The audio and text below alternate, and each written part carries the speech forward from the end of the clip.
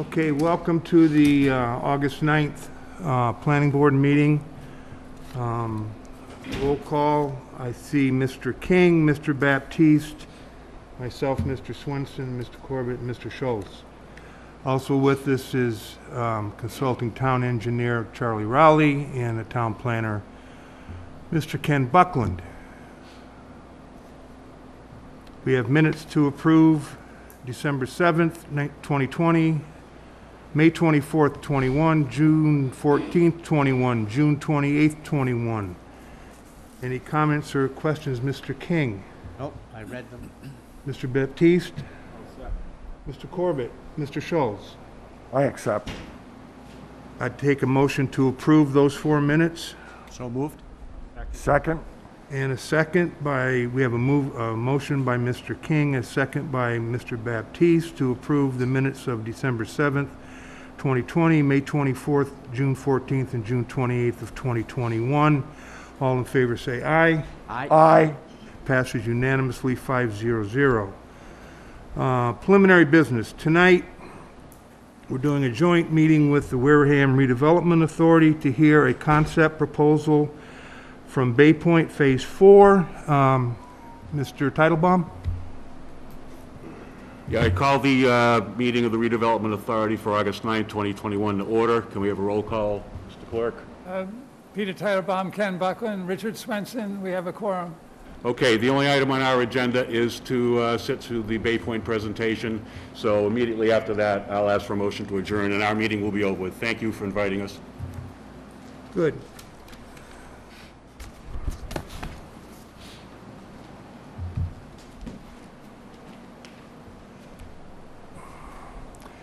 While Chris is setting up in full transparency, um, the Bay Pointe Phase Four is proposed for land that is owned by the redevelopment authority, formerly a CETA property that transferred over to the WRA.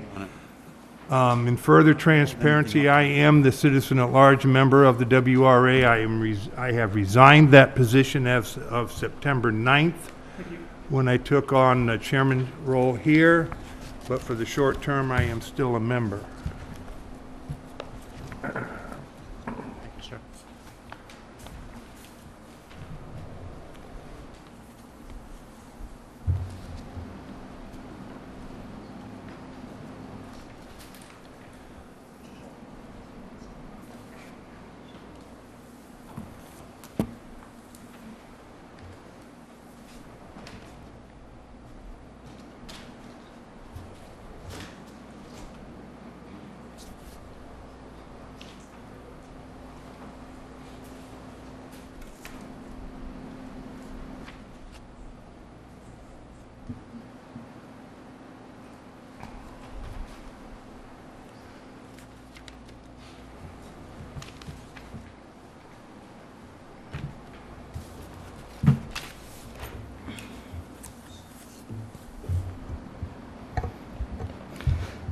Chris Reynolds from the Bay Pointe Club.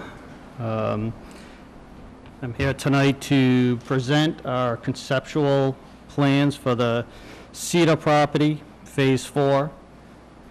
Tim Fay will be joining me as soon as he can find his mask, so he'll be here shortly.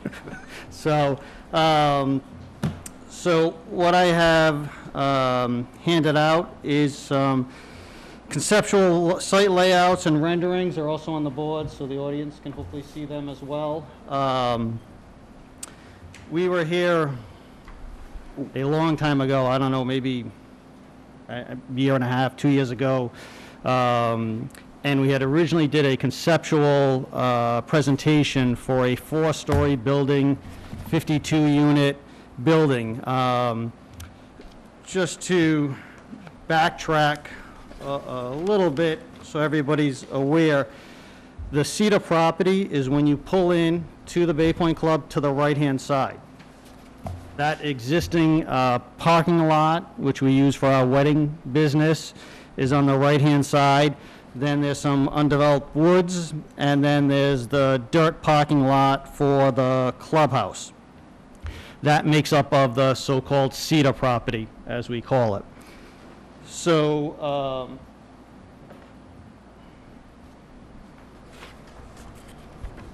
So just so everybody understands, when you pull into the Bay Pointe Club, this right-hand side is what we're talking about. Chris, you need to, somehow we need to get a mic if you're going to be over there, or you can, I'm just trying to make sure I- sure.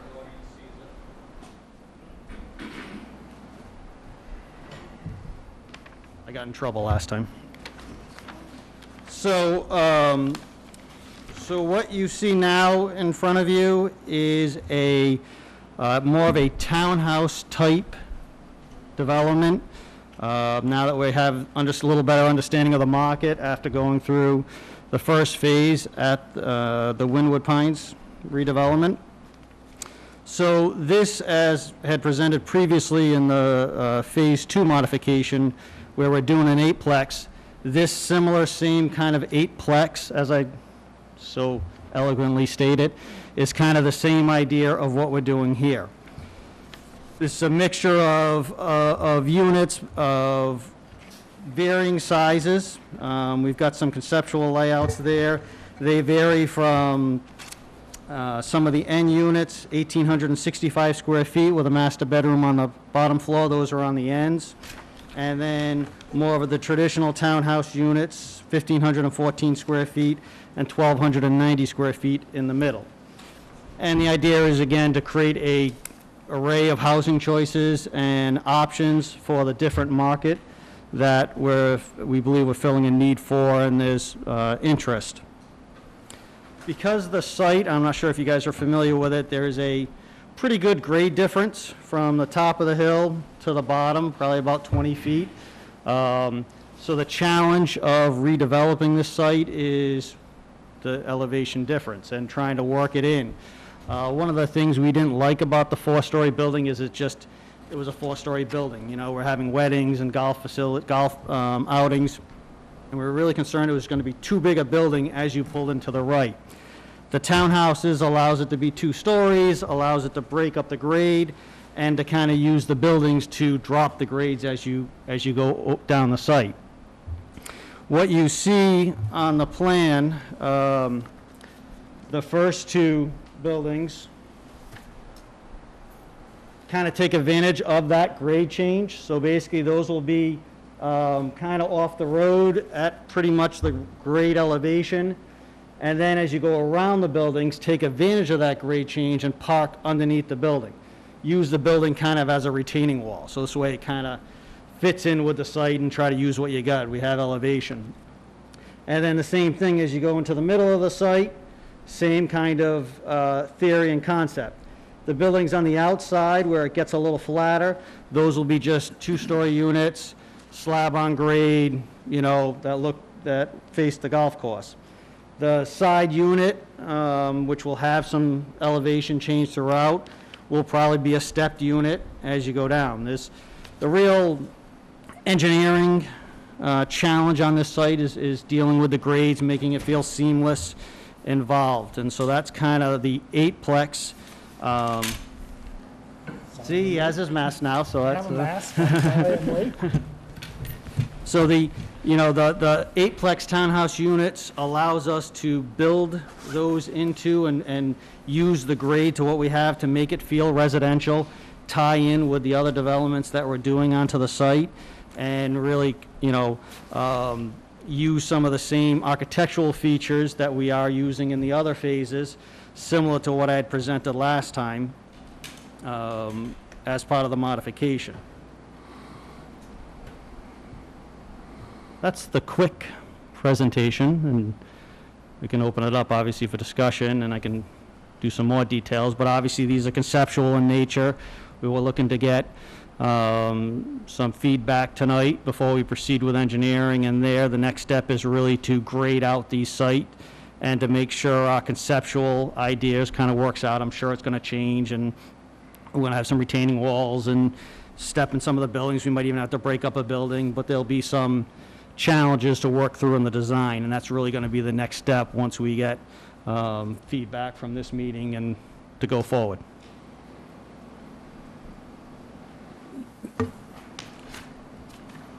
So the way, the way we'll do this is, um, we'll have dialogue between the planning board members and the applicant. Um, We'll have uh, dialogue between the redevelopment authority members and the applicant, even though they're a little there is one overflow there. So um, I will start um, with Mr. Scholes, if you don't mind. Do you have any comments or questions you'd care to make at this point? Uh, No questions at this point. I'll, uh, I understand what you've presented. I have no comment at this time. Mr. Corbett? No comment at this time. It looks good.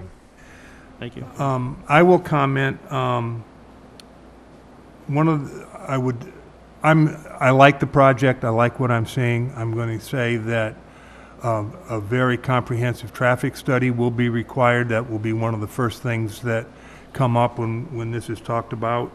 Um, I, we will have to do, and Charlie, please help me if I'm wrong here, we will do a site plan review special permit, we will do a conference and recreation zoning district special permit, and, um, I meant to look this up today. Is there a subdivision because of parking, number of parking spots? No? Not unless they're changing the layout to Bay Point Drive. Okay. So, uh, two special permits will, re- will be required. It'll be basically one in themselves, so.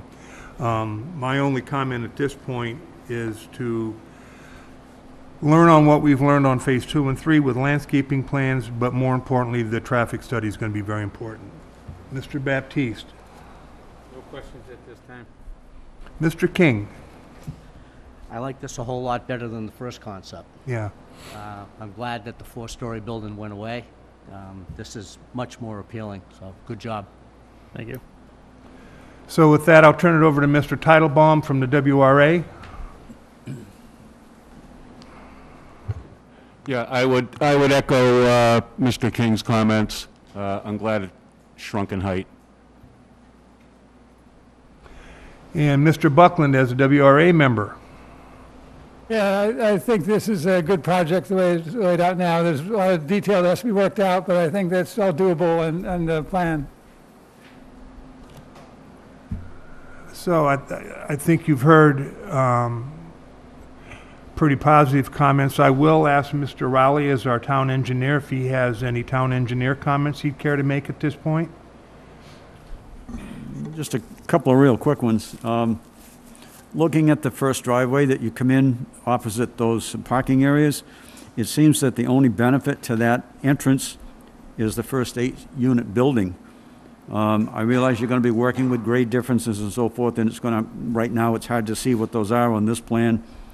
But I wonder if you might just uh, consider sliding that eight-unit building a little bit to the left and putting that entrance in between the eight-unit and the six-unit? And just do away with that one-way driveway that you've got there? Because it really doesn't benefit anybody. Anybody that wants to come into this facility, say, the one that's closest to Onset Avenue, or any one in the back, they're gonna have to go to the second driveway anyway. So that was just my, just an observation. Uh, The second thing is that it's pretty dense in terms of the drainage characteristics and what you're gonna have to do there for that to accommodate the amount of impervious cover. But um, that'll have to come along as a part of the design details and so forth. Um, Just be aware that as you move toward the south, um, the uh, soil characteristic may change a little bit.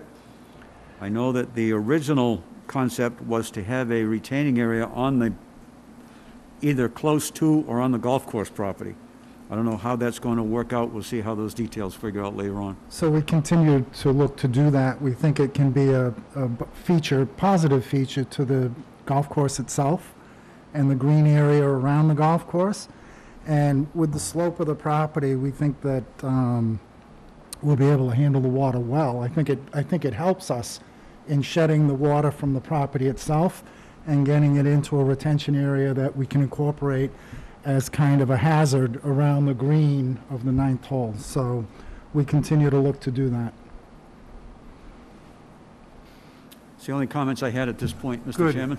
Yeah, and, and I'll, I'll answer them just so, uh, the board's aware of kind of what our theory is.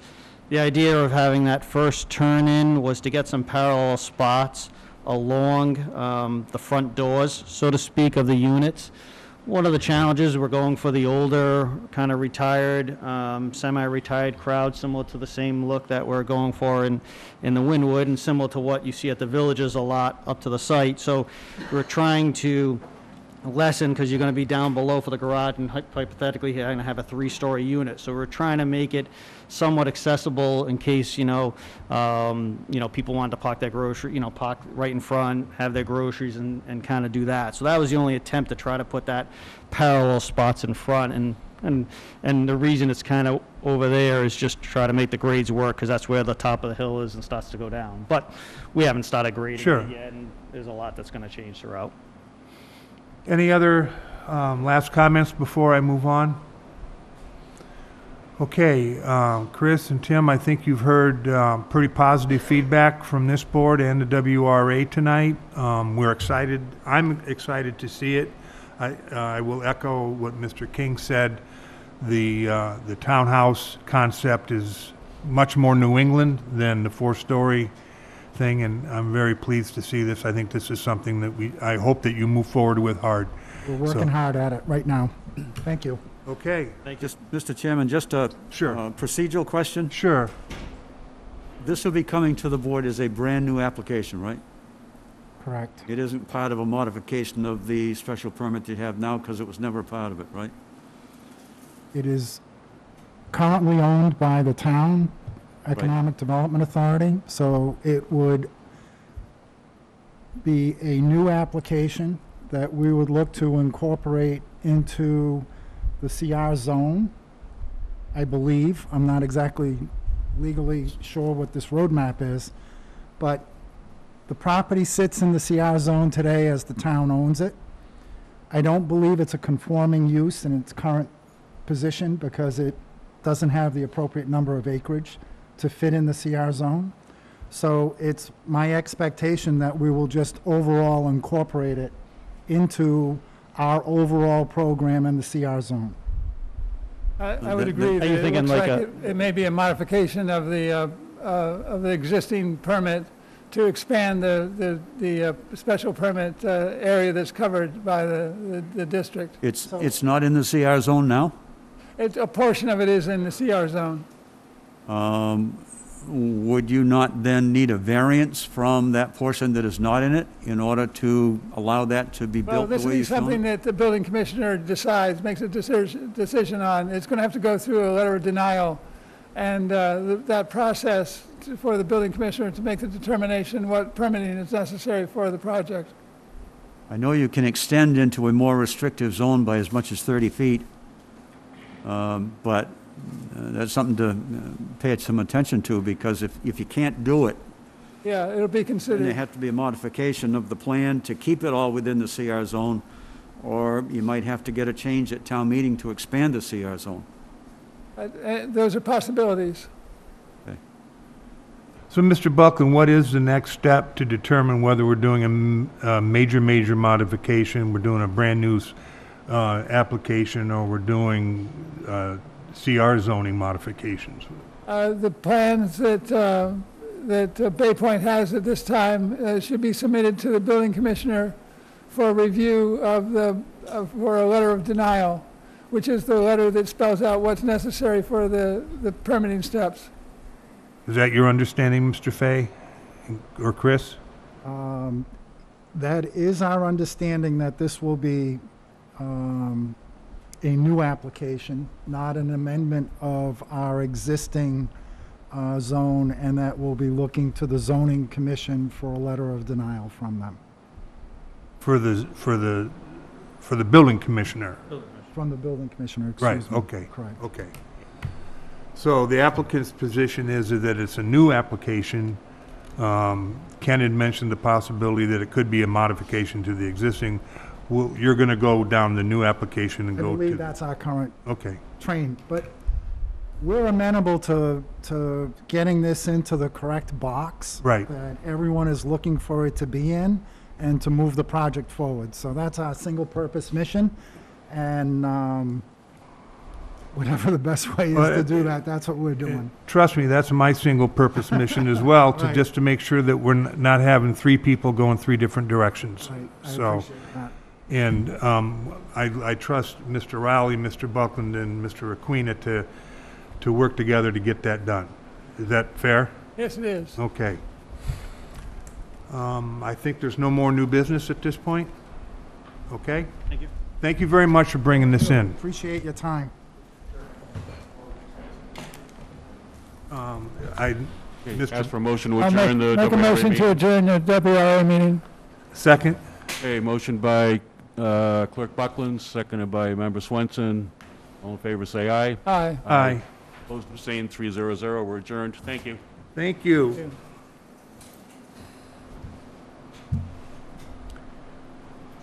Second on the agenda tonight is uh, 29-21, an A and R from Southcoast Hospital Group, 124 Main Street and 15 and 43 High Street, map 47, lots 118, 118B, 1050, and 1051.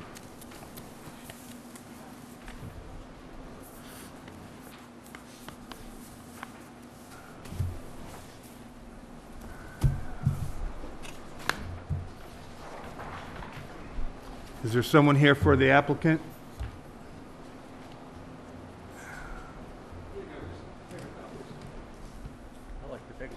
What did I do with my notes, my agenda? Oh, It's on this here.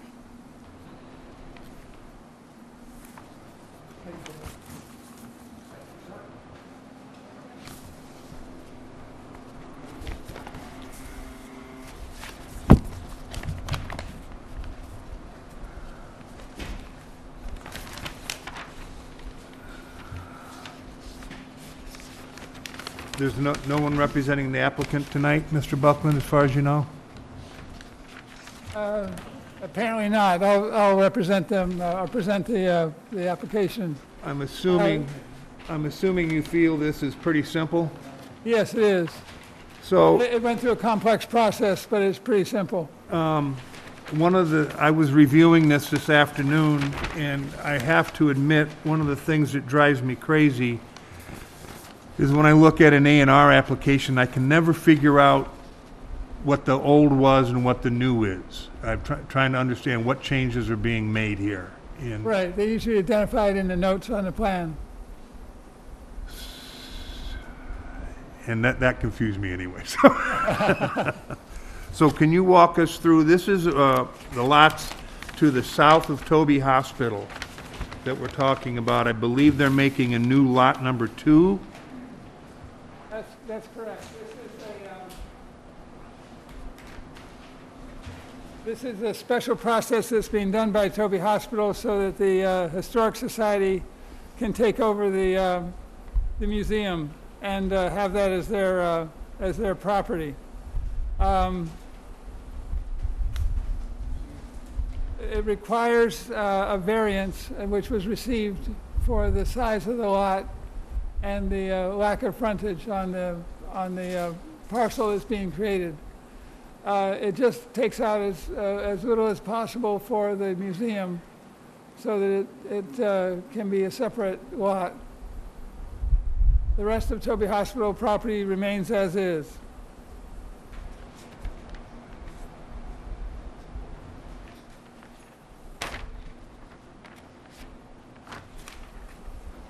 Mr. Buckland, can you repeat what the variance was granted for? The variance is granted for frontage and uh, size of the lot. Is- And is this for Lot 1? This is Lot 1, yes.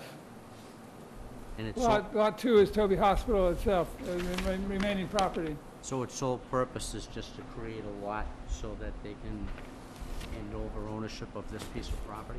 That's correct.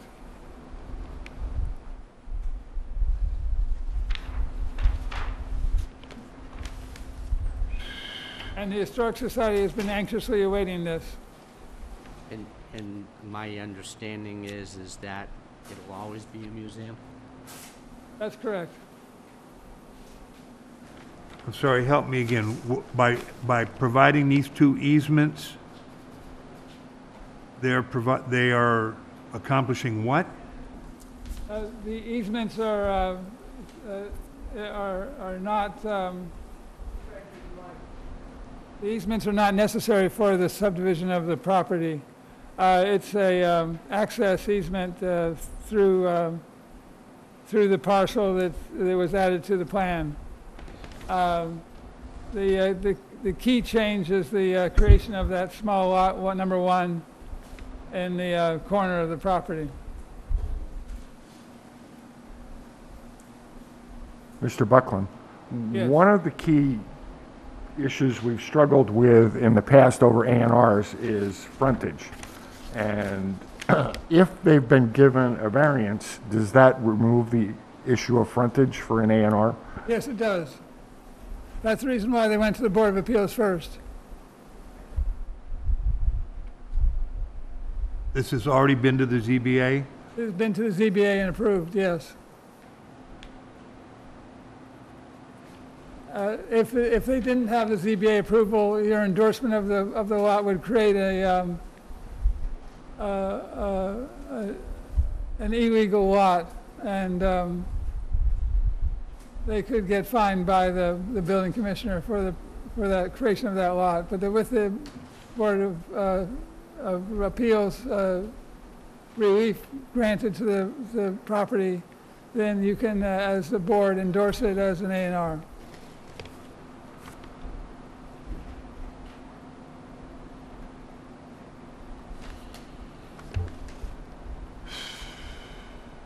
So, just so I understand completely, by, by creating this, the Historical Soci- Society takes ownership of the building and the lot, Correct. and it's deed restricted, it can never be changed to a commercial property, residence, anything of that nature, it's gotta stay in the hands of the Historical Society?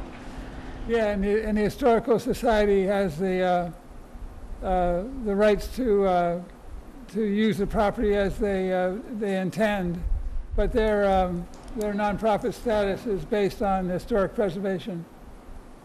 So, just so I understand completely, never a storefront, never an apartment building, just a, a, Uh, some, some sort of historical building that the society owns, maintains, and presents to the public in some Correct. fashion. Correct.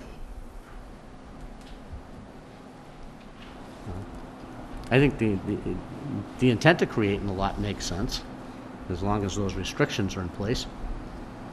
Another question, just looking at the lot, and this is just for understanding, uh, is there sufficient parking in the space that will be created? Parking wasn't uh, identified on the site. Right, that's why I'm asking, because we all know that parking on Main Street down in that area can be problematic.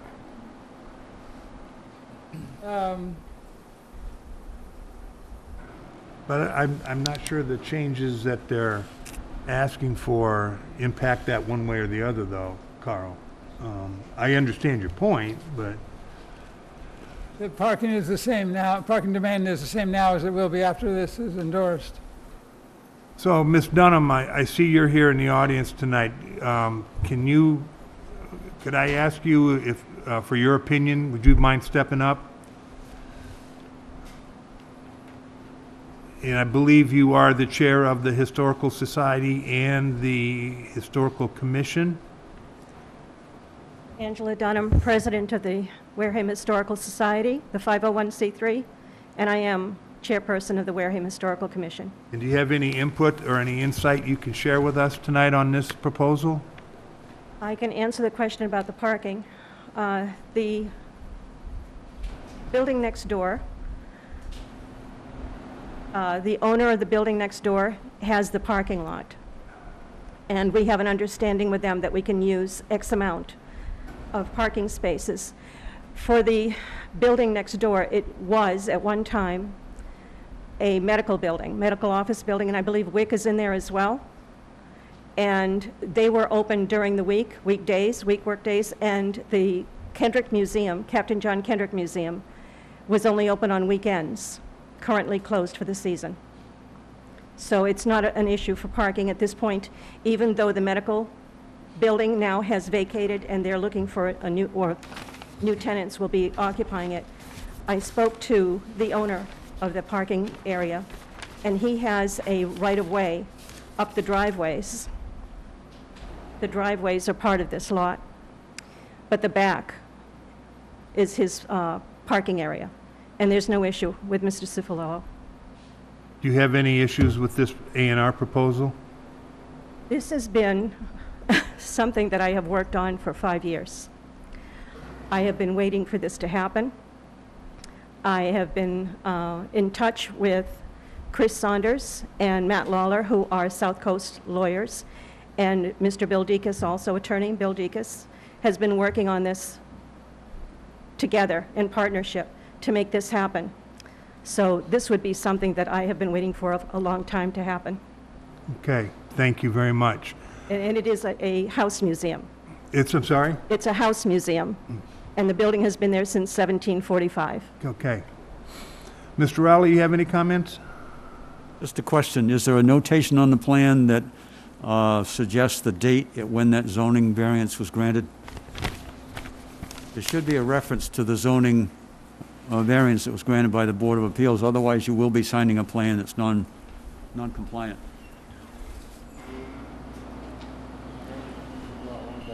If it's not there, I'd recommend it be put It on the is. plan. It's number It is? six here, variance granted for Lot 1 by the Wareham Zoning Board of Appeals on April 14th, 2021, as noted in decision recorded in book 54966, page 25. Then that, if- that in effect becomes the frontage and area of the lot, so there should be no problem with signing. Okay. Mr. Schultz, I have no further questions. Mr. Corbett, Mr. Baptiste. I'm sorry? Mr. King? No further question, no further questions.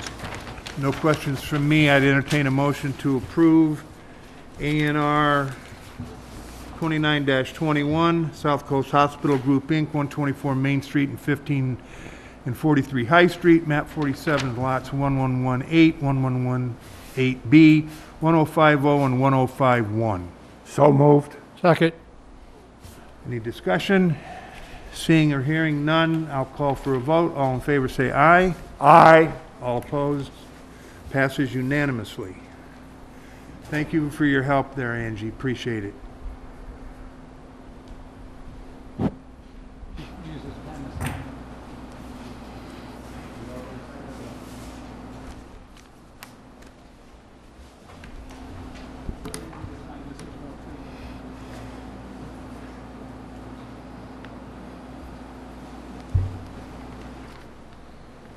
Oh, here.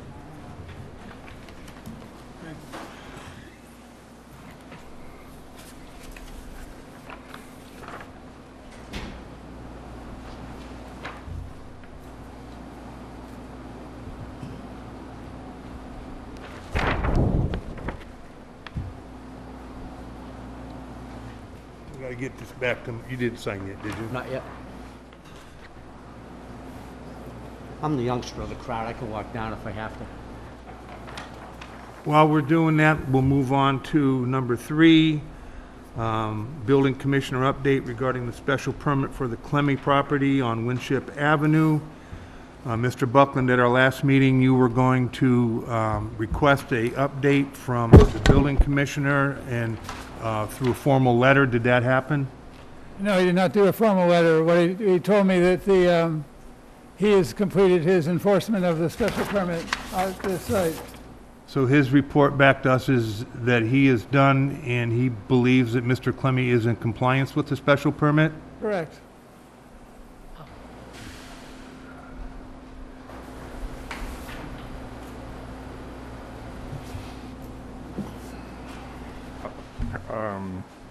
I- I'm troubled by that. Yeah. Especially after reviewing the. As am I. Yeah. Yeah, I'm struggling for words right now. So um, I hope everyone had an opportunity to see the pictures that I did send out. I did. Uh, Just so you know, those were provided by Mr. Deacus, the uh, abutter to the property. Um, At this time, I think um, our wisest course of action is to uh, step back and figure out where we go from here, if anywhere. Uh, We keep this open on our agenda for now, but I I don't know where else we go. Um, Well, ca- can't we override the decision Can't we override the, the decision of the building inspector? I don't believe he's done his job. Um, The research I have done indicates that clearly, and this is in Mass General Law, it's pretty clear that the enforcement um, of any uh, permit or special permit is the sole responsibility of the building commissioner. Um, And I don't, I, I don't know what our recourse is, Michael, but I think we need to take the time to find out before we, we may not have any, I don't I- know. Um, Well, I mean, judging by what you just said, we're at, we're at the whim of his decision every, at every turn. There's nothing we can do. Um, I'm not saying that yet, but it, it, if I had to bet, I would say that's the case. But I do, um, You, you do have one recourse. It's um, through the court system to appeal the decision and uh, as a, uh, an aggrieved party. However, uh, to uh, accomplish that, you still need the um, approval of the Board of Selectmen to, uh, So we're right back to where we were before. so, um, I would, uh, I would suggest we table this for now and give it some thought. So I'd entertain a motion to table it. I don't know if I, we even need to do that or not, but I, So moved. all right. Um, Mr. Chairman, I would like to make one comment. I think the learning from this for the board is that in the future, when we write conditions, we have to be much more specific uh, and um, perhaps include measurable um, objectives. Yeah. Um, In in fairness to Mr. Requena, the order was maybe a little vague. It- There's no doubt. There's no doubt. Um, Mr. Rowley, any comments? Smart move. Okay. um, There's a motion, there's a motion to table this item, um, not close it out. I need a second. Second. Um, All in favor, say aye, please. Aye. Aye. Okay, thank you. Five zero zero. Um, update regarding the site plan special permit for Master Millworks at Charlotte's Furnace Road. Um, anyone heard any news? Uh, Mr. Buckland, I think you were the prime interface into them. that's right. And I have not received any new information, landscape plan, uh, change in the uh, paving uh, details, or uh, uh, what else, uh, what- the, the work on the drainage that they had to do. I haven't Okay. received anything on that. By chance, Mr. Rowley, have you heard anything? I've heard nothing from them. The only thing I've observed is that the building is going up. Really? I thought the building permit wasn't issued. Steel's under erection. I was there the other day. The whole steel framework is up. How how can this be? Well, you can do whatever you want in the town of Wareham. Um, The, the CO won't be issued until the, uh, the special permit is satisfied. What, However, if the steel's going up and the underlying uh, asphalt doesn't meet the conditions, what's that, what's going to, The asphalt doesn't have anything to do with the. the uh, steel's not going up over any part of the asphalt that's under, No, it's going over the foundation, which was approved. Yeah. okay. So good, okay, that at least, You've still, you've still got some leverage over the terms of the special permit, the way that it was written. And when it comes time to occupancy and fo- so forth, if it's not complied with in terms of what the conditions were, then you can involve the building inspector there. But it's, Um, it's at still this your... point, though, this doesn't seem like a good faith effort. They're moving forward with erecting steel. They- the- Their engineer should have had plenty of time by this point to look at those core borings and make some kind of observation. Yeah, it's been two months since those borings were taken, so I, I don't know what the Haven't seen them results are. yet, Charlie? I'm sorry? You haven't received a report on the core borings yet? I've seen nothing. yeah. This is, this smells of another case of just move forward and then ask for forgiveness after the fact. Well, we got, we got one guy that's been two years, he does what he wants to do. Uh, we definitely got a problem in this town in enforcement. So, uh, but let me back up a minute. I'm a little confused because I was under the impression that a building permit had not been issued, and I'm under the impression that it still has not been issued. Right. Yet, building activity is taking place. Is that a fair statement?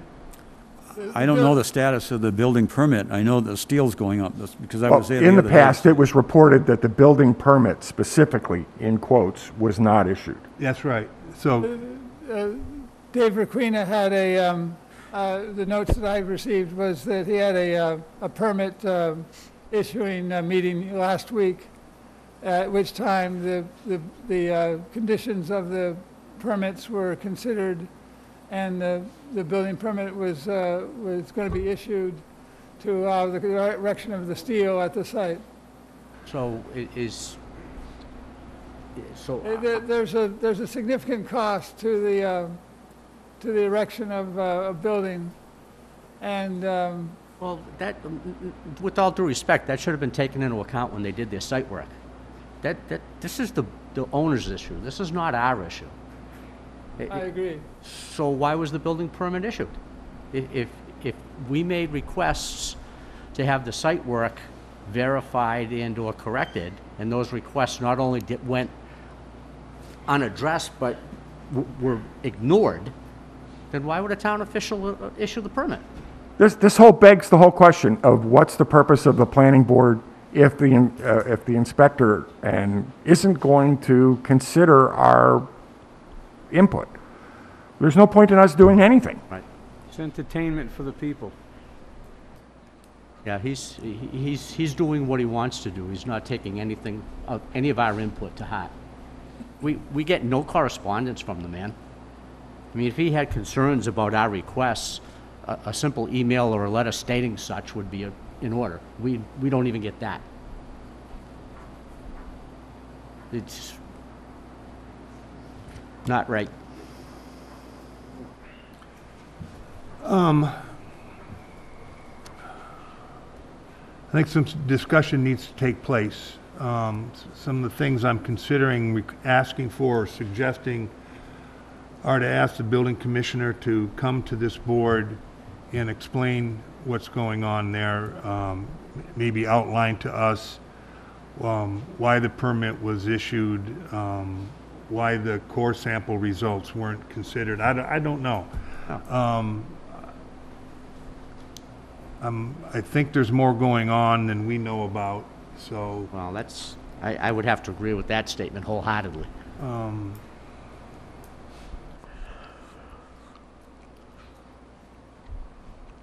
Uh, I can ask the building commissioner, or you can ask the building commissioner for an audience before the board at the next meeting. I think that's the appropriate thing to do. Mr. Schultz, would you agree? Uh, Yes, but I think it'll be pointless. I'm sorry? I, I don't think it'll matter. But yes, it'd be nice to have them come by and Mr. tell us that Mr. we don't Corbett? matter. It'd be nice to hear from him. Michael? Bring them aboard. Yeah, absolutely. Okay, so, um, Mr. Buckland, is that a, is that something I should do or you should do? I'll ask him, and if it doesn't work, I'll ask uh, you to do it. That'd be fine.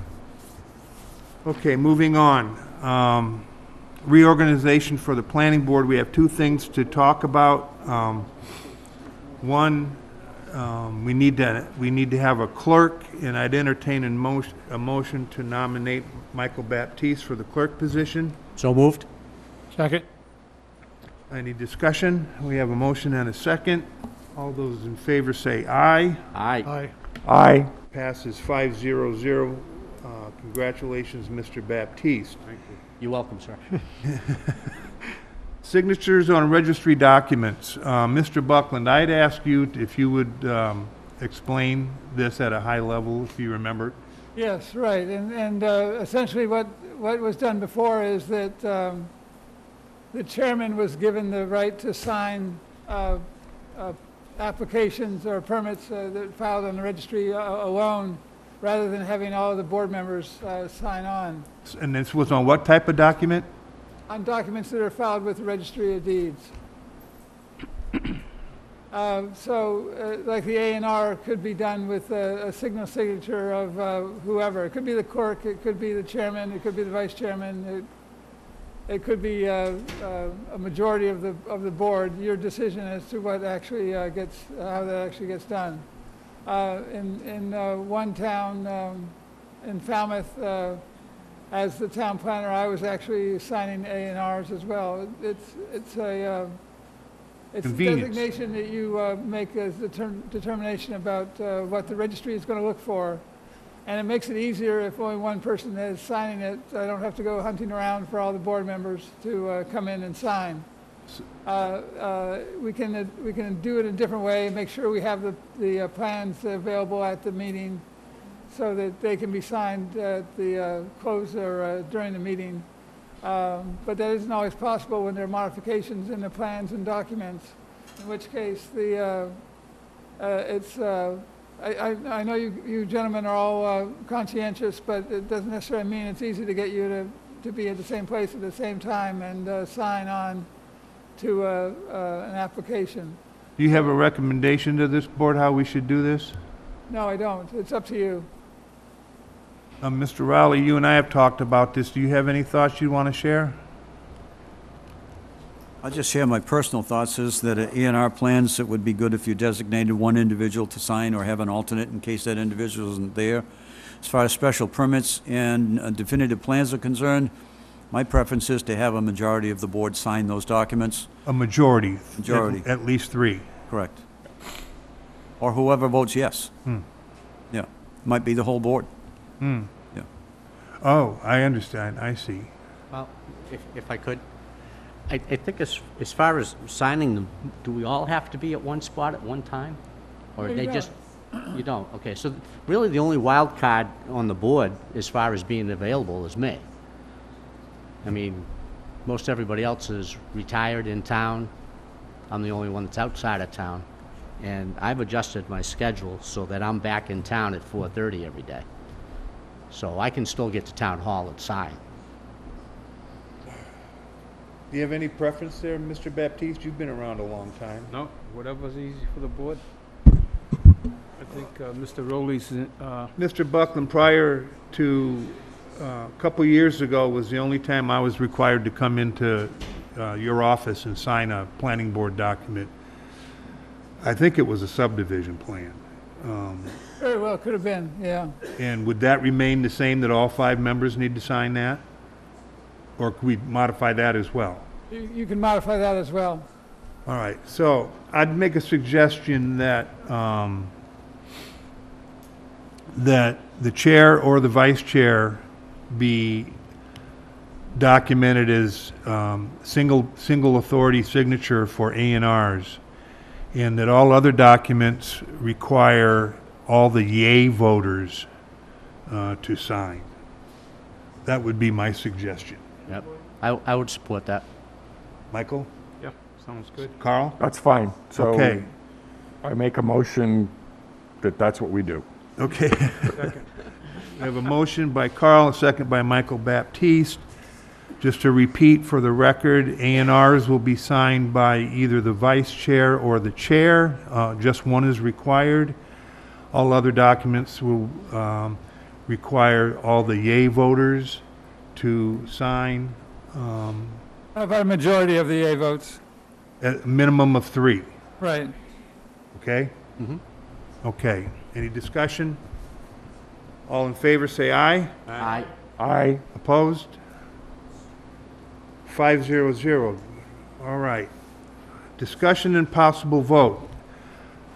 Hydrogeologist under a 53G account for review of the Fearing Hill Road Solar. Before we dive into this,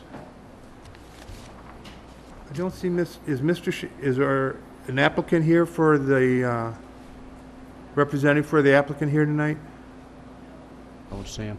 Don't see him. the people here That, if- please, um, please note, uh, to the members of the audience that, that this is, we are not in a, uh public hearing. Right now, this is a discussion among the planning board. The uh, Fearing Hill project does come up in two more agenda items as part of the continued public hearing. But regarding the hydrologist, um, it was my understanding, uh, Mr. Buckland, that, um, before I go there, uh, several names have been bantered about. um, it's proposed by the applicant, proposed by yourself, Mr. Rowley has suggested ones, we've had people from the general public suggest, have, have the applicant and anybody in your office, Mr. Buckland, come to a consensus on who the best person may be? No, So I think at this point, then, we should just table this.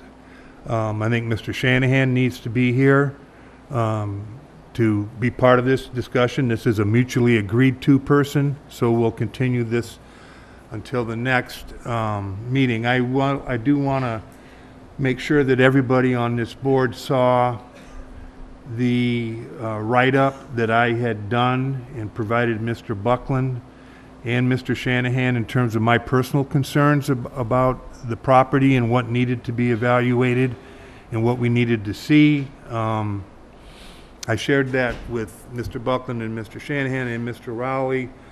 Um, I also then subsequently shared it with you all. If you will have, if any other board members has thoughts that they think need to be communicated as part of this hydrologist selection process, uh, please feel free to forward them to myself or Mr. Buckland, and we'll put them in the pool. Any other discussion? Seeing none or hearing none, we'll move on. All right. Okay, we're going to go into a continued public hearing for project 23-21, which is a modification to special use permit, site plan approval, and de- definitive subdivision plan for Bay Pointe LLC, maps 28910, lots 100 and 1004A, elimination of a road and a modification of units. While Chris is handing this out, um, a lot of work has happened behind the scenes in the last two weeks on the part of Bay Pointe, on the part of Mr. Rowley. Mr. Rowley, thank you very much. A lot of effort was done there. Um, It is the goal of the, my goal tonight that we wrap this up. We have a document that has been distributed to the board and I believe posted. I didn't check. Ken, did Sonia get it posted? I was checking now to see if it is posted. I don't see it.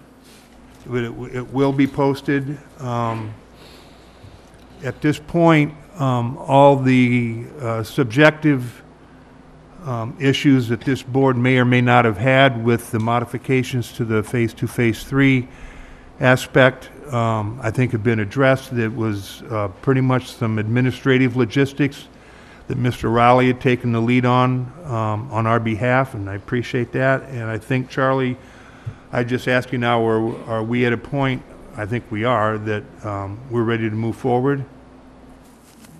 Yes, I would recommend you move forward. I don't have a, a written response to that right at the moment. Um, I looked over the plans that Mr. Principi gave back to me after a couple of comments I'd made, and I had a couple of questions on it that um, I gave to Chris to give back to Tom. But that can be done on, within the 20-day appeal period. It's just on the registry plans. There were a couple of notations that needed to be either taken off or cleaned up, and that was it. So you've got a 20-day appeal period from the date that you file your decision with the town clerk before those plans can be signed. So in that time frame, he can do that, and he can just uh, PDF a copy to me, so I could just check it.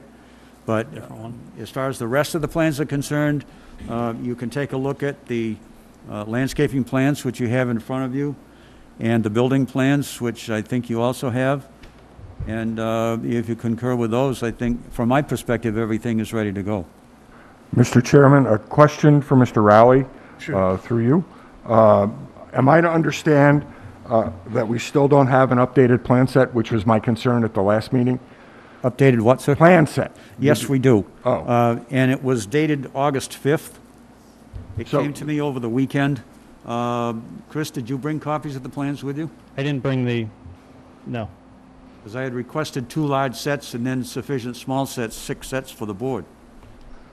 I I did told not. that to Tom. You didn't get the order? So you don't have a final set to look at tonight? Um,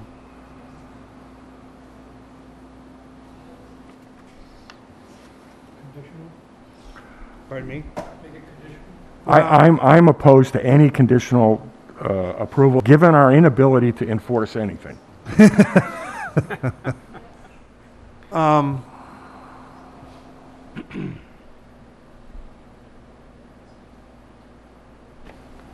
Chris, how long would it take to get, um, getting PDFs of that final plan set? How long would that take? Yeah, we have it, yeah. have 'em. We have it, I mean, We it- don't. yeah, so We do, we you sent it don't. to, S- to Sonia, but you will get them printed out and we have them ready. I mean, Charlie was going back and forth with Tom this weekend. and I Tom understand. sent it over there on Sunday.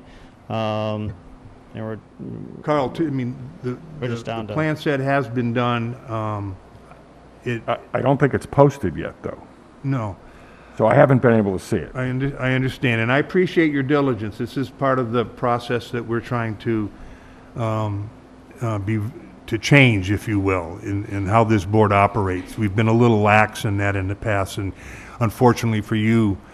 So, my question is this, if we can get a PDF version of that final plan set emailed to everybody on this board tomorrow, um, Is it in the Dropbox? Can we do it right now? yeah, it, it went to Charlie and Ken this weekend. So they, they have it already. The, Yeah, we the just don't board- have the the plan. board doesn't Ken Ken already has it and Char, We have the PDF of the document. It's been submitted.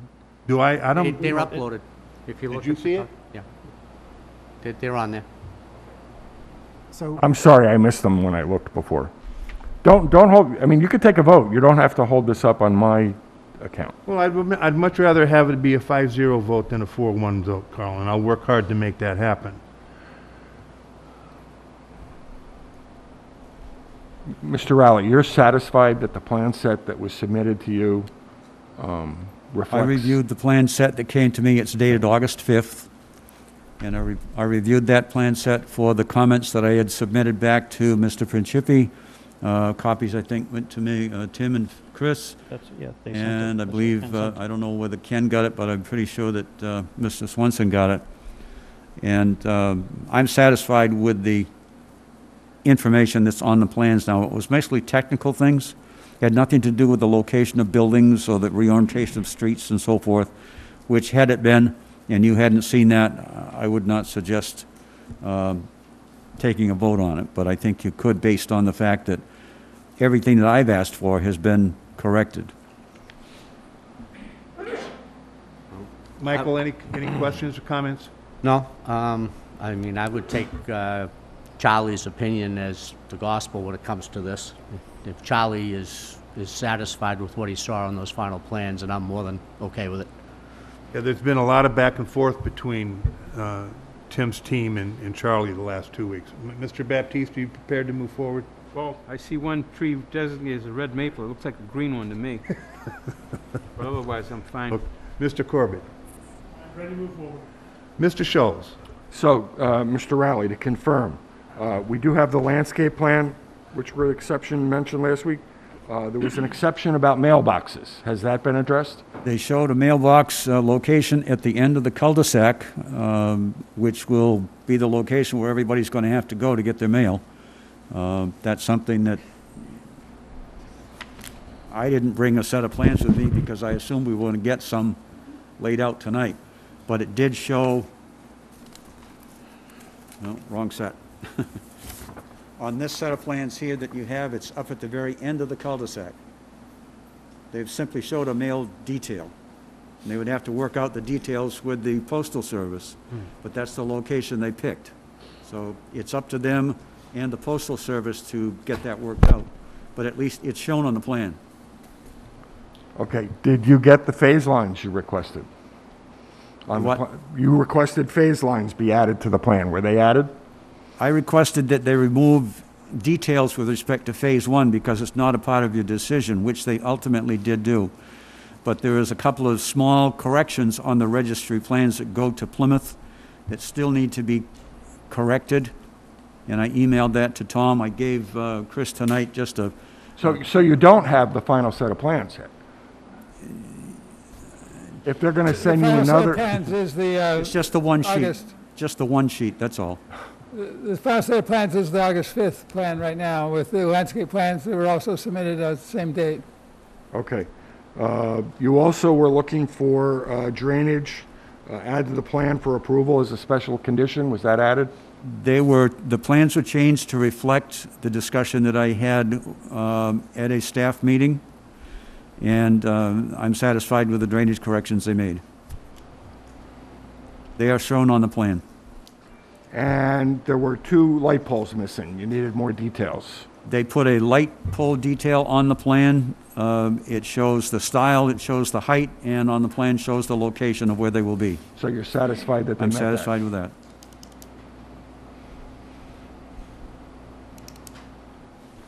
I'm okay. I'm okay. Thank you, Carl. Um, Mr. Buckland, any comment? No, we have a, a- a, decision, draft decision that's uh, been worked on as well, that, that makes findings and um, conditions of approval that uh, you should probably review. You have, we have that, I think I, I brought the next to last version of it with me. Uh, Do we have it here?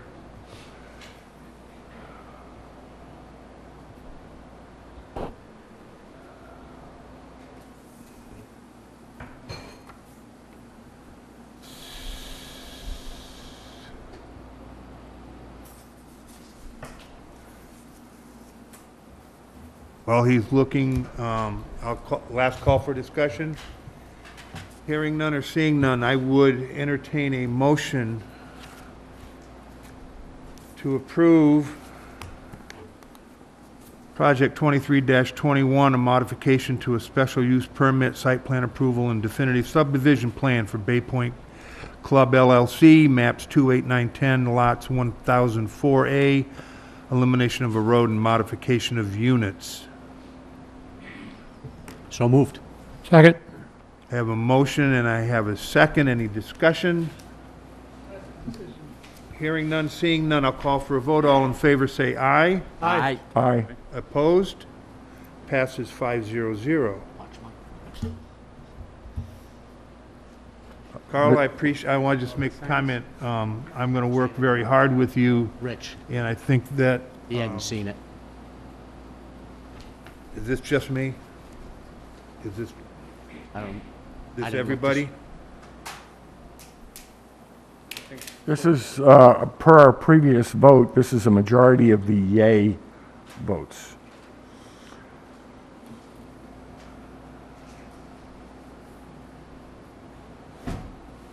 You can all sign it if you want to.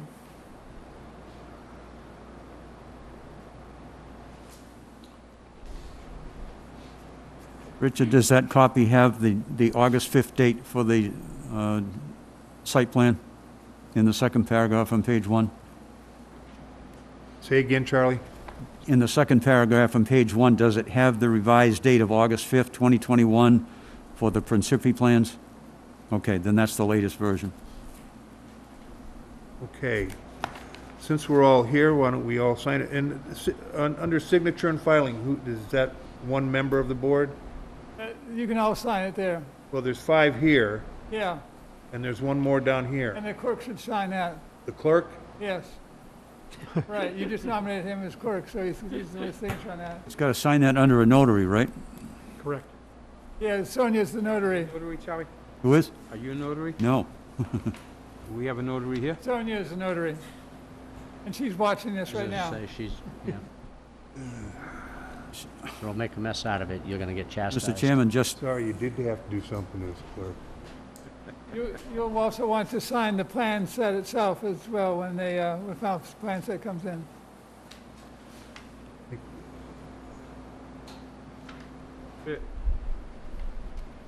Mr. Chairman, that, that is two documents in one. It's special permit, and the certificate of approval of the subdivision. So don't forget to take your vote on the rescission of the older subdivision, which was a 2019 plan, and vote for the approval of the new plan under Chapter 41. um, Just voting on the special permit only does half the job. We need to do the understood. vote for the whole I- thing. We've been through this, I, this, Okay. So I'd entertain a motion to rescind the 2019 previous uh, special permit No, and just the sub- s- No, just the subdivision plan. subdivision plan, and That's it? And Not- to, and to approve the new subdivision plan dated August 5th. And to approve the new subdivision plan dated August 5th. I need a motion So moved. Second. and a second from Mr. Baptiste. All in favor say aye. I, Aye. Aye. And this has to be recorded now, Charlie, somewhere? Yeah, could I just make a recommendation that um, you'll hold on to that until you get the revised copy of the plans That's in the your 20-day file? thing, right? Then take it down to the town clerk and file it. And a copy of the decision, the filed decision with the town clerk, once that's stamped by her, gets sent to the applicant by registered mail. Okay. Um, com, just a comment, Mr. Schultz, I am fully on board with your efforts, and, um, and we'll get there, and I appreciate your flexibility tonight.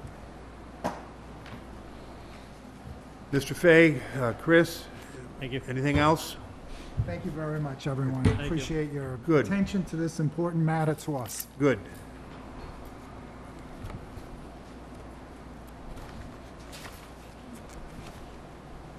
I'm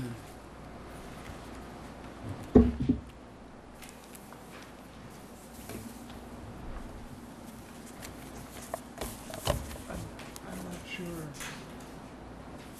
when you're supposed to do that. He signed that one that Sonia notarizes later? Yeah, Sonia is watching this uh, right now, and she'll uh, notarize it.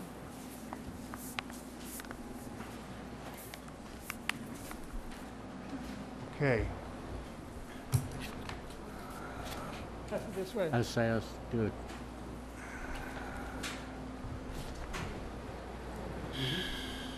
Okay, moving on, we're moving on to project number 2121, site plan review. Wareham, Mass. 3 LLC, 91 and 101 Fearing Hill Road, map 91 and 71 lots 1,000 and 1,007 for a ground-mounted solar array. This is a continued public hearing. I am surprised that uh, Mr. Shanahan or a representative for the applicant isn't here. I was expecting that specifically to discuss, as I mentioned before, the hydrogeologist um, selection process. Seeing that there is no representative here um, to address open issues that we have, um, I will, I do want to just uh, outline for this board and get your input and corrections. And the, the ma, the open issues that I have right now are the tree inventory issue, um, and I'll come back to that in a second. The sightline data that, um, based on the site visit you all did and identified the sightlines, um, that needs to be presented to this board. And finally, the hydrologist report, um, in terms of the water impact to developing anything up on that hill. Um, Those are three major things. Um, I'd like to talk to the, uh, to the tree inventory question. Mr. Rowley, you had commented that if we, if we had agreed as a board to accept a sampling process to measure, where I think Mr. Shanahan had suggested, Shanahan, right? Yes, it is. had suggested inventorying twenty-five percent of the property as a representative value, whatever he came up with for an inventory to multiply by four.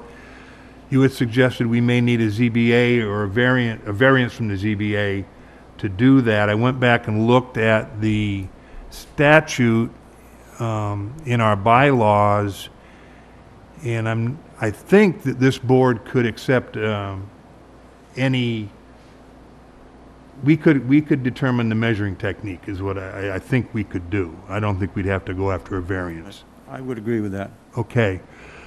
So, um, to this board, I would say, um, we don't need to decide tonight, but I would ask you to be prepared to discuss and vote, um, when the applicant is here on his proposal of a sample rate inventory technique. Um, he had proposed twenty-five percent. Um, we could do that, we could do fifty, we could do whatever.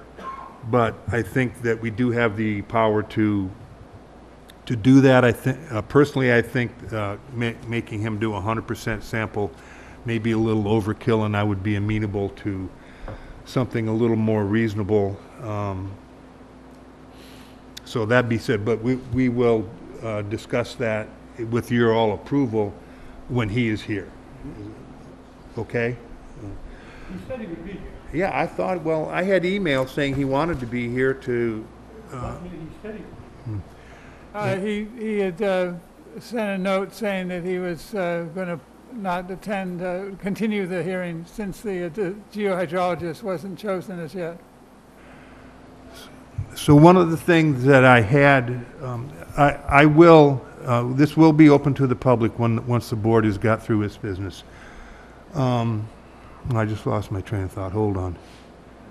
Um, oh, I had, I had made the statement that I expected to interview, this board to interview the hydrologist. Um, Geohydrologist, pardon me? geohydrologist. Geohydrologist, hydrogeologist, all right. Whatever, I thank you. Right.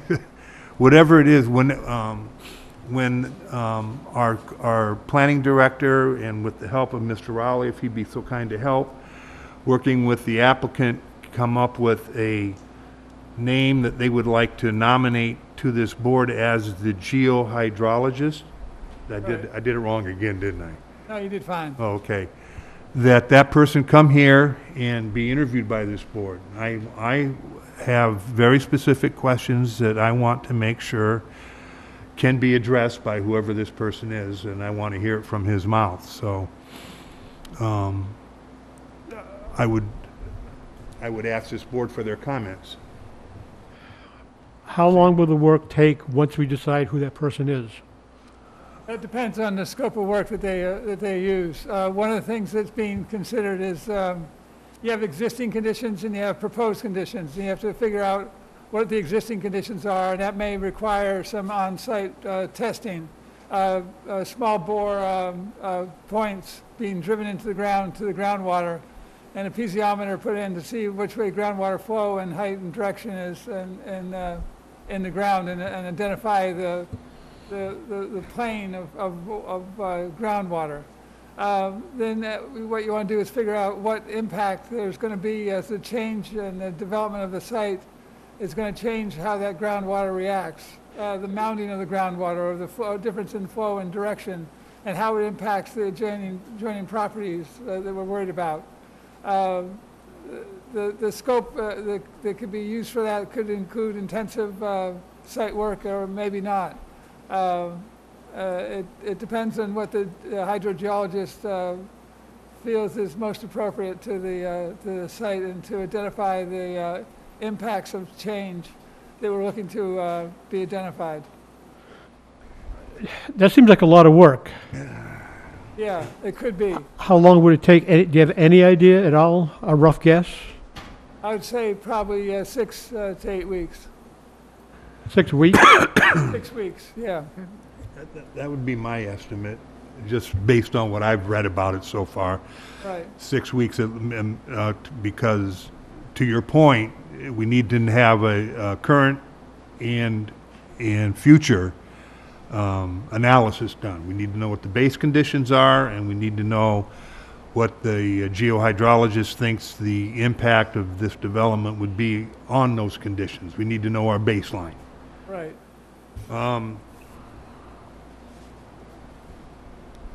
The only thing I'm worried about, Mr. Buckland, is I'm worried about our timeline.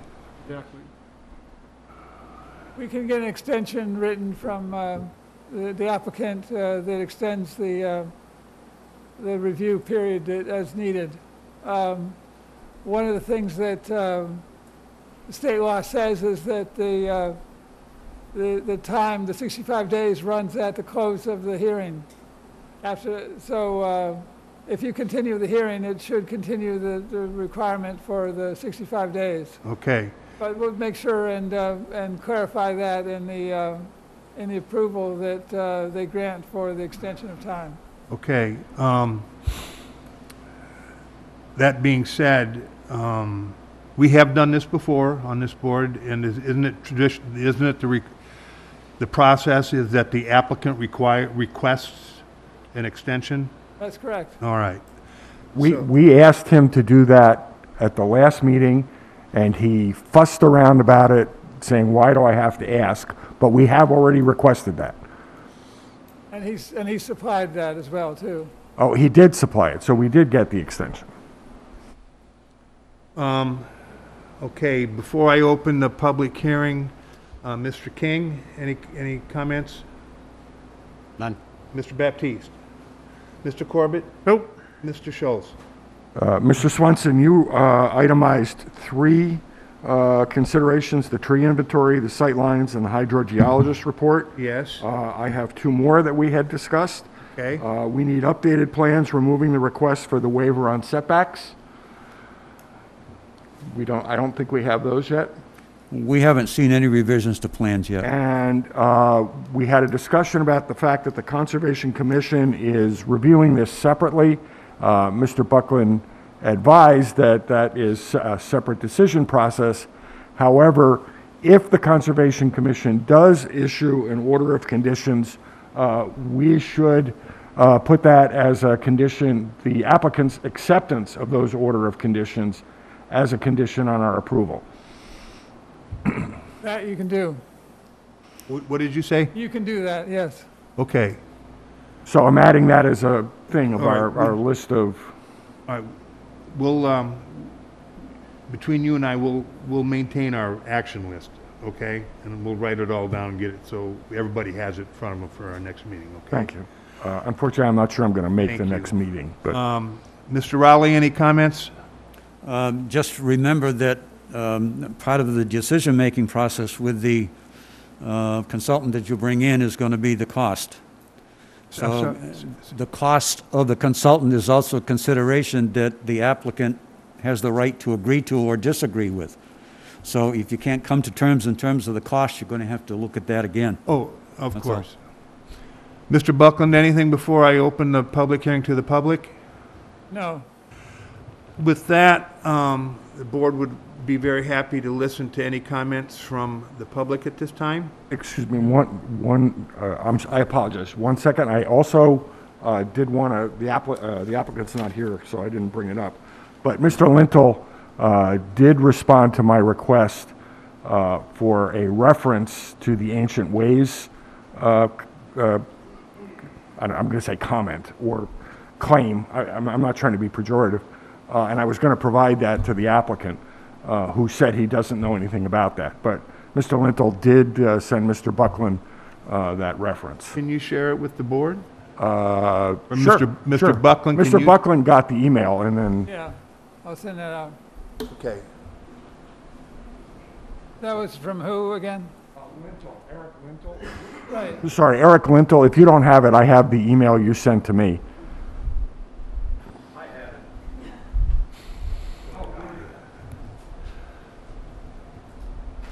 Okay, we're going to uh, open it for public, and just as a matter of course, as I did um, in our last meeting, uh, speakers will be entitled to three minutes to speak. Um, I ask you to please bring new information to the table. This is the third session of this public hearing. Um, If I if I feel that we're hearing the same thing um, over and over, I will interrupt you and ask you to bring new information to the table. Um, I want to keep this, and the reason I do this is I want this to be productive, and I want to give everyone a fair chance, and I want to keep it moving along. So with that, uh, Mr. Buckland, do we have anybody on Zoom that would like to speak? let me see.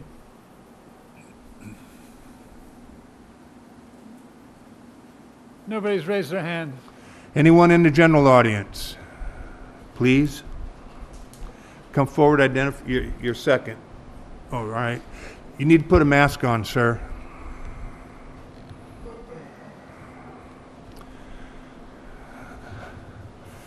Please identify yourself, Tricia. Gentlemen, I'm Tricia Wertz. Can you hear me through this mask? Kinda. I don't know if I'm going to be able to see through it. If you- Um, I think I have one other issue that we need as a group to look at, and I am concerned about bringing it up without Mr. Shanahan here. So, and that has to do with noise. With That has to do with noise. noise? Yeah, noise at these sites, and um, when you look at solar sites, you have several pieces of equipment that make noise. Um, You have the inverters, you have the fans, you have um, transformers, and in the state of Massachusetts, the laws, the law regarding noise says that the noise can be allowed to be 20, uh, 10 decibels louder than what your traditional ambient noise is. So in a country setting, they make a guesstimate of ambient noise being at 25 decibels, which means at the highest level, the noise should be no more than 35 decibels. I don't know without Mr. Shanahan here, how many inverters are in that project. You can have a single inverter or multiple single inverters, or you can have little inverters on every single panel. So there's no way without his input of understanding what the possible decibel noise level is. There's um, nothing without his input on telling me, uh, telling us what the transformer level decibel noise is running at, um, nor the fans. So the noise also breaks down into two types. So um, we're looking at um, a- basically what they, they call a um, source sound or a, a, a- a bass sound. It's not, it would be like a small vacuum cleaner running. For a 60 hertz site, they're saying that can be 120 decibels. And at that type of machine also um, produces um, additional types of, of noise that graduates, so it might run at 120, 240, et cetera. I've had work experience in this field, but with electronics, with computers, and it runs, the, the harmonics runs much the same way. And then lastly, the state law says that this sound that's generated 30. cannot be take, taken um, isolated. You have to take into consideration the other noise that's around it. So stop me, Richard, if I go over it. I just want to read a piece of this law. It's the Massachusetts regulation was written to prevent noise creep, ever-escalating noise within a community due to permitting a sound source in isolation or without regard to other sound sources already in existence. So in this particular neighborhood, they already have a solar field there where people are complaining about noise, and I would think that there would need to be a noise measurement. That type of stuff can be done before another solar field is put right on top of them. Thank you, Ms. Wertz.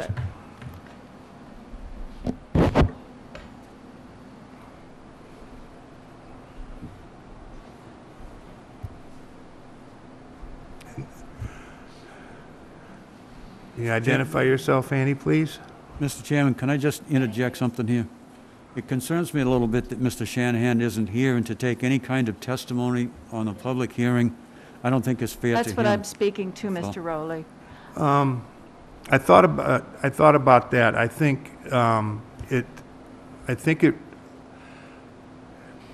I'll speak personally. I think the impact of Mr. Shanahan not being here impacts the speaker uh, much more than it does this board or this land use board. Um, Your point's Just- well taken. I taken. just don't want to, I don't know why he's not here, but uh, I don't want to see him um, suggest that his rights have been violated by him not hearing the testimony, that's all. He does have the ability to review the video of the testimony. If it, if it's fine, okay, but. No, no, I'm just saying, have a I, I concern. don't know what else I to... think, for the record, um, I'm going to just, I'm going to reiterate to the audience that, um, while you're welcome to make your comments, understand that, that the applicant is not here to hear them or respond to them, and he will not be held accountable to respond to them um, based on statements you make tonight. Tonight, you're basically speaking to the board. You're not speaking to the applicant. Um, And if you want to proceed, you can. So Annie, go ahead. Annie, Annie Hayes, a number of us have said that we, we um, want to, and we had intended to speak to the applicant as well as, of course, you being the decision makers, um, and that without that, um, you know, the, the object of our discourse is, is not Kinda present. And didn't, didn't notify us, and it was very odd and disrespectful. I So I think, I think I would like it if you would suggest a vote amongst us, I'm fine with that. If, you know, if the majority wants to stay, I'll stay, but if the majority wants to come back when he's here, I would go- abide by that as well. This, this hearing will continue again and again and again and again. Okay. You'll have plenty of opportunity to speak to him, Can I trust show me. you my model I made afterwards, though, after the meeting? O- Okay. Okay. Ms. Wertz, did you have a question? Yeah, I just wanted to know. You have, you have to come up.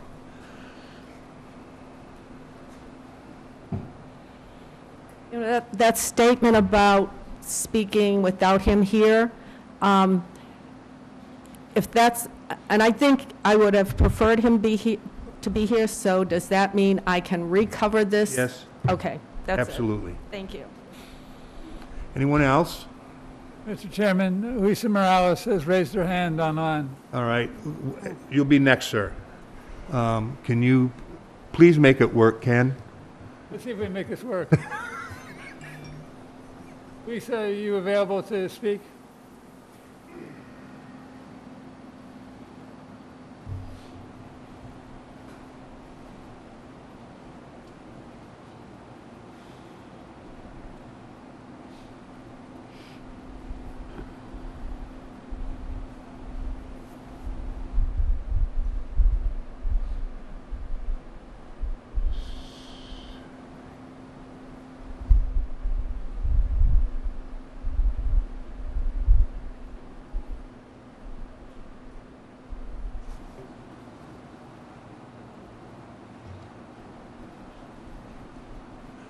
While Mr. Buckland's doing that, sir, would you like to come up and speak?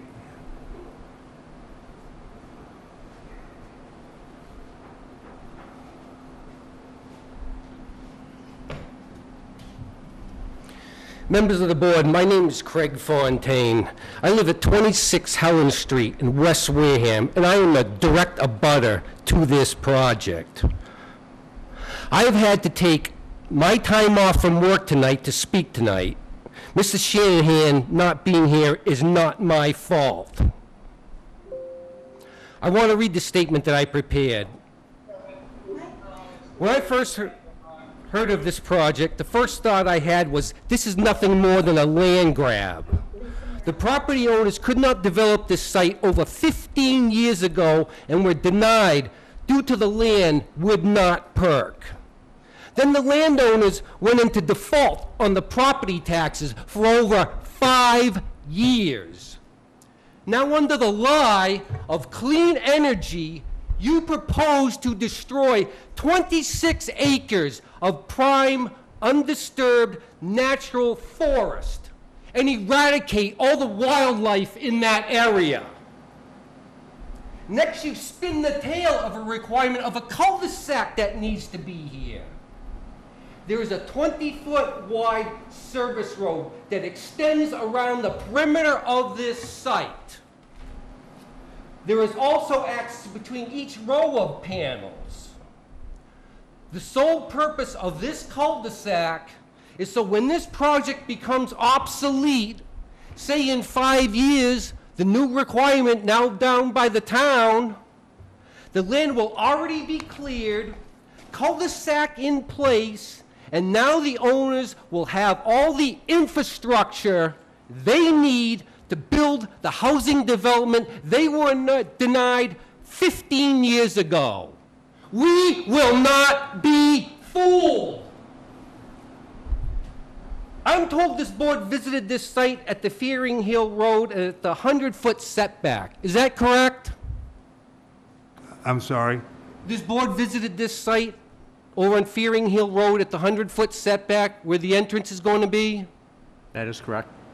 That's correct. For the rec, for the record, I, I did not. Miss- I was there. I was there. The site, Yes, I have.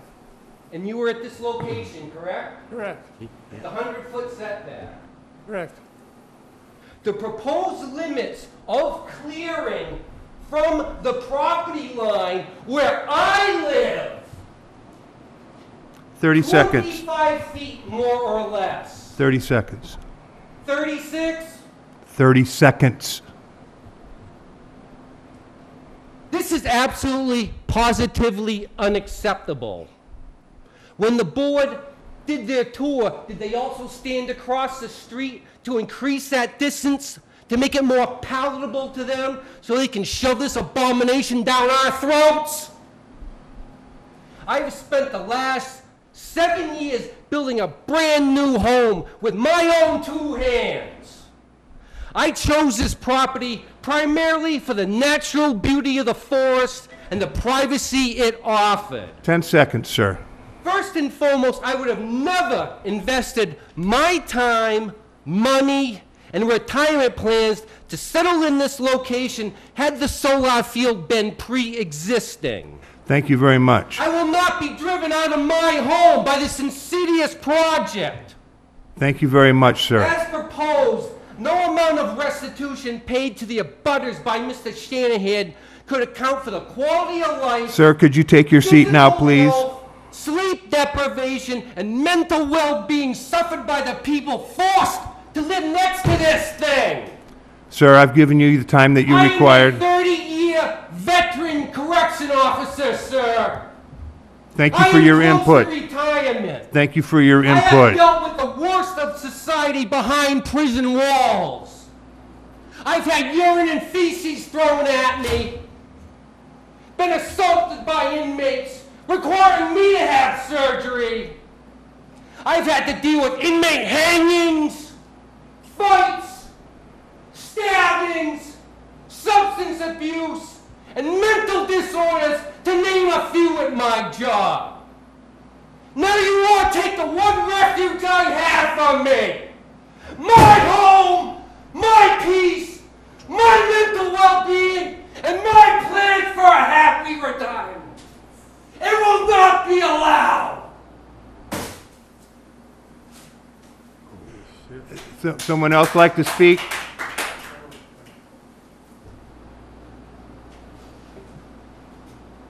Ms. Morales, are you there now? Hold on, hold on, we're trying.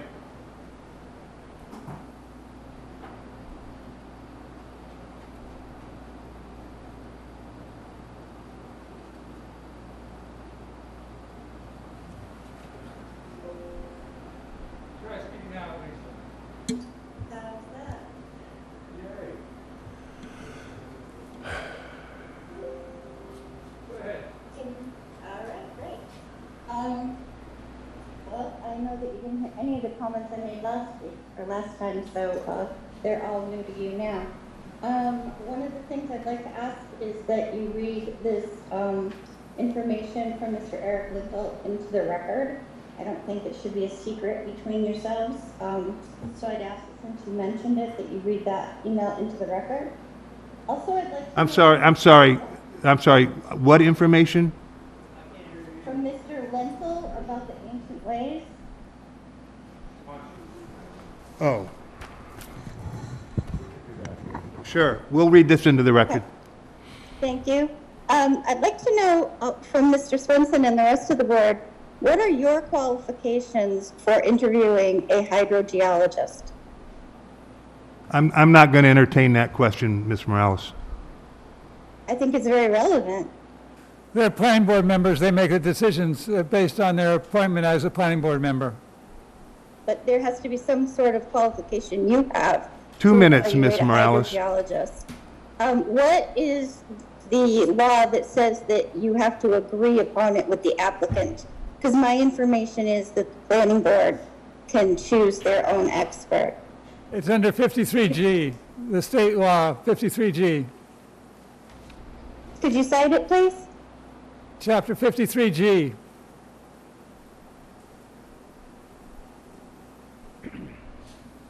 Okay, and I strongly urge you not to allow them to go to a sampling method about the trees.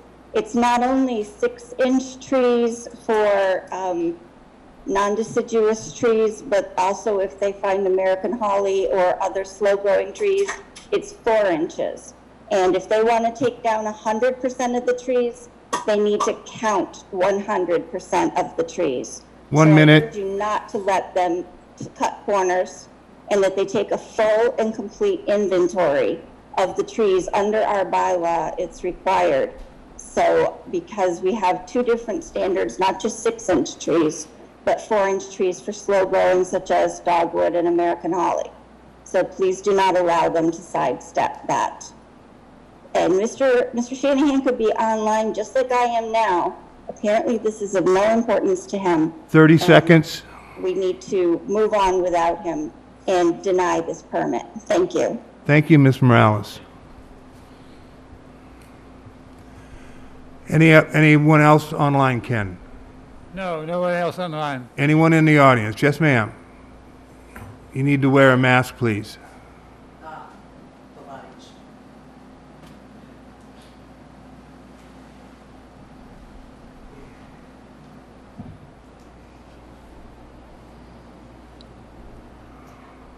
Where's Mr. Shannon? Is he? I brought a bouquet. Little word of criticism here. Can't understand a word any of you are saying. This is what I hear at the back of the room from everybody. Everybody who has spoken, this is what I hear. I've had no clarification back there. Okay, I'm Kathleen Melka, again, 26 Helen Street. Little autobiography on me now. You heard from my husband. I'm a retired paramedic, 25 years. So over the course of that last 25 years, when I go to sleep at night and close my eyes, I relive everything I've seen, everything I've done, and everything I've seen people do to each other. I have pulled teenagers out of car wrecks due to drunken drivers. I have seen an eight month old baby who was abused by his mother's boyfriend when he dipped the child's hand into a pan of boiling water. I have taken care of countless elderly people who have been abused or just neglected, which is a travesty. I have done a lot. I've seen a lot. And it, you just all be glad that I did the job that I did. I loved my job. I felt I made a difference. And I'm hoping I can make a difference here. I'm tired of this. We have taken our time. We have come here. We have pretty much told you all, everybody here, these are the people who count. Not Mr. Shanahan, not Mr. Crespo. They don't count. These are the people that count. These are the people who live here. These are the people who live all around that. They pay their taxes, they buy their food in town, they buy their gas here, they live here. We are residents.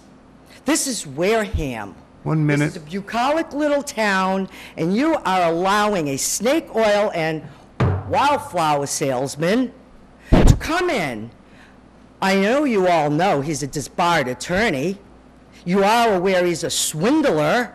You've already allowed him to do it to you once with Squirrel Run. I don't know how many more you've allowed him, but I've done some big homework on this gentleman. And I think it's disgusting that you people entertain anything 30 seconds. that this felon who went to prison for swindling people out of their inheritances, out of settlements, is coming here to swindle all of you. He says all the things you want to hear because that's what he does. It's up to you. You're all adults, you're all grown people, you can all form your own opinions, but nobody wants to be seconds. snookered. And that's what you are allowing Mr. Shanahan to do. You're allowing him to pull the wool over all of our eyes and tell us that he's going to be a good neighbor. Thank you That for your input very much. So. Thank you. This project needs to stop, and I have a motion. Thank you. That this project should stop, and I hope all these people here would stand up and be recognized and want to put a stop to this. Thank you very much for your input. Anyone else in the audience? Anyone online, Ken? No.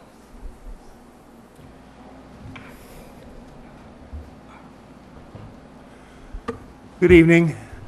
Uh, Eric Lintola, 15 Squirrel Island Road. Um, I'm going to hold some, a lot of comments or specific what I want to talk about because Mr. Shanahan isn't here. But since it was brought up as far as the ancient uh, Indian route goes, I'll just address that shortly since it was brought up, something to think about. On August 3rd, as stated in Wareham Week, a large crowd of people gathered at the Onset VFW to support limiting solar development on previously undeveloped land in order to protect the environment. Speakers included Senator Marc Pacheco and leaders from the Wampanoag tribe. As I have mentioned before, and I believe, and I believe it needs repeating, uh, going to mass.gov under the Massachusetts Department of Conservation and Recreation Heritage Landscape Inventory Program. And it states, and I do want to repeat this, that an- ancient Indian route through the Weweantic watershed is a significant cultural resource and isn't threatened by development. And the question is, a lot of these things about these ancient ways, uh, the Wampanoags get swept under the carpet.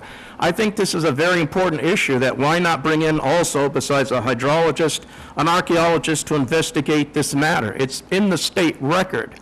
It should be looked into. If there was anything found significant on the site, they would stop it.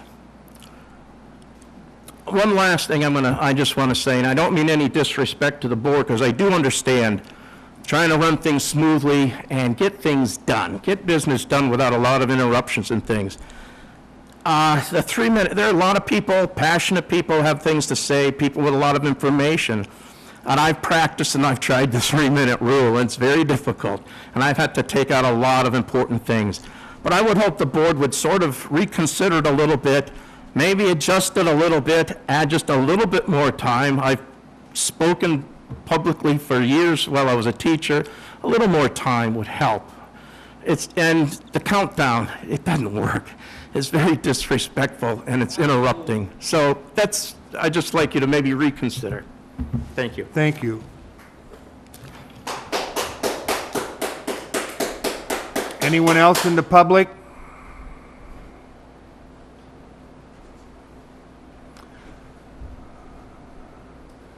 Hi, Leslie. Hi, Leslie Edwards Davis, Trinity Lane. Um, I'm not going to make all my comments today because I also wanted them to be made in the presence of Mr. Shanahan, but just a couple of points. Um, so I just looked up Mass General Law, Section 53G, and it does not say that you must mutually agree on a consultant with the proponent. So I would ask you to check that. It does outline some rules, but it does not say that you have to mutually agree on the choice. It says that the, uh, that the proponent can uh, deny payment for the services if they don't like the, uh, the resume of the, of the uh, It specialist. says that they can appeal if they don't like the qualifications of the person, but there's an appeal process. It does not say you must agree on a candidate for the hydrologist. I mean, it doesn't say that. Ch- uh, Take a look at it, just, you know, just take a look. And then I would like to follow on what Eric said about the um, trails. So we've done some research about um, the Wampanoag Trail. There's a map that I will send to you all by email after this meeting. It's from 1795. It was published in Wareham Week based on some uh, research that Mac Finney had done. Who? The- Mac Finney, he was involved with the Historical Society. Um, It shows a red line that shows the Wampanoag Trail that had been researched, and it's, uh, it follows along the Fearing Hill uh, Road, right where this property lines up to, and on the um, survey map that was in the site plan review, there is a dotted line, and someone had asked about this dotted line. Well, it turns out that's the topographic survey marking for a trail. And this trail only shows up on certain maps in the GIS between the years 1939 and 1977, and then it disappears from the contemporary record.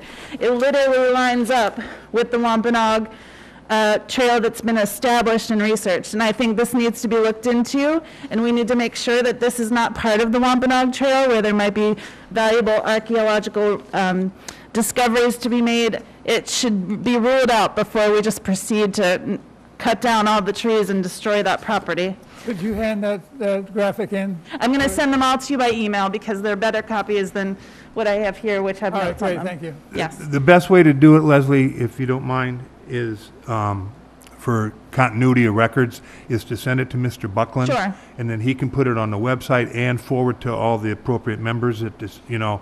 Absolutely, and that's that- fine. that- That's the way we'd like to do it. And, Okay. but you, you, you have my email. You're I fr- do. You, you're free to send me anything you want. But for something like this, this is, I'd like to do it this way, just to make sure that we have a permanent copy of it. Absolutely. I have more to say about vernal pools, but I'll just make that point next time when I have more time. Thank you. Thank you, Leslie.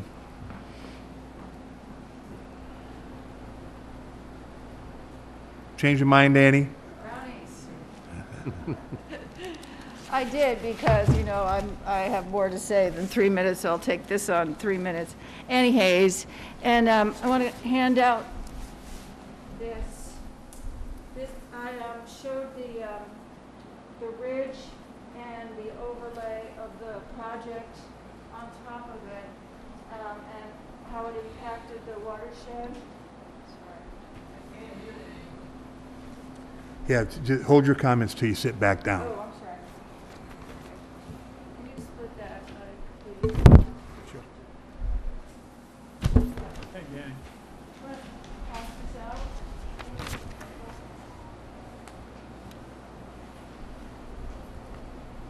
Last, last meeting, I showed um, a overhead that showed the ridge, the highest points of the ridge, Fearing Hill Ridge, and as that made its way into the lowlands, the wetlands, and to the river, the Weweantic, um, showing that it was a very significant part of the Weweantic and the Sippican watershed. Um, This, this here is the topo map that the uh, proponents supplied. It has the Fearing Hill across it. You can see that ancient trail, that's the map where all of a sudden we realized, and, and a GIS expert, mapping expert said, concurred that that was the ancient um, way, the path. Um, So there is the top- topography with the high point where that little left section of the Y goes across. And what I can't understand is that they're just going to move a little bit of earth around from here to there. I understand now from reviewing the meetings that when they say no earth removal, they don't mean they're not going to shift the top of the ridge. They mean they're not going to move it off-site, and they were clear about that. And on the back side, I'd like you to flip over, look at the lower left-hand corner where it says, a little dialogue there, that's from a meeting where George Barrett was still the chair, and it went like this, it's just a synopsis, but you can find it. It's um, the 28th of June meeting, um, number, uh, minute 1 hour 140.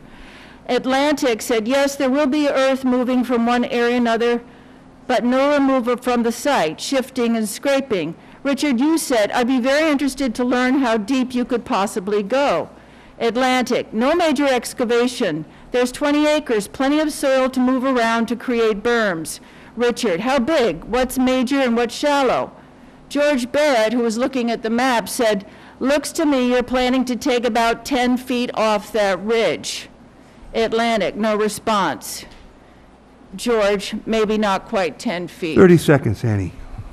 Okay, quickly, this, this isn't going to last, but I made a Play-Doh model of the ridge. I tried to have it. You won't wanna miss this, Alan. That's okay. It's a, it's a clay model of the ridge with the panels on it, and it shows that if the sun is coming up from the southeast, it'll hit the front panels, but on the back side of the ridge, those panels will not be catching the sun. Maybe at midday they will, but when you still have the ridge intact, the high point of the ridge, there are panels that are going on the backside, as you can see from that topo map. It goes to the back of that. So what I want to know in specific terms is just what George Barrett was referencing.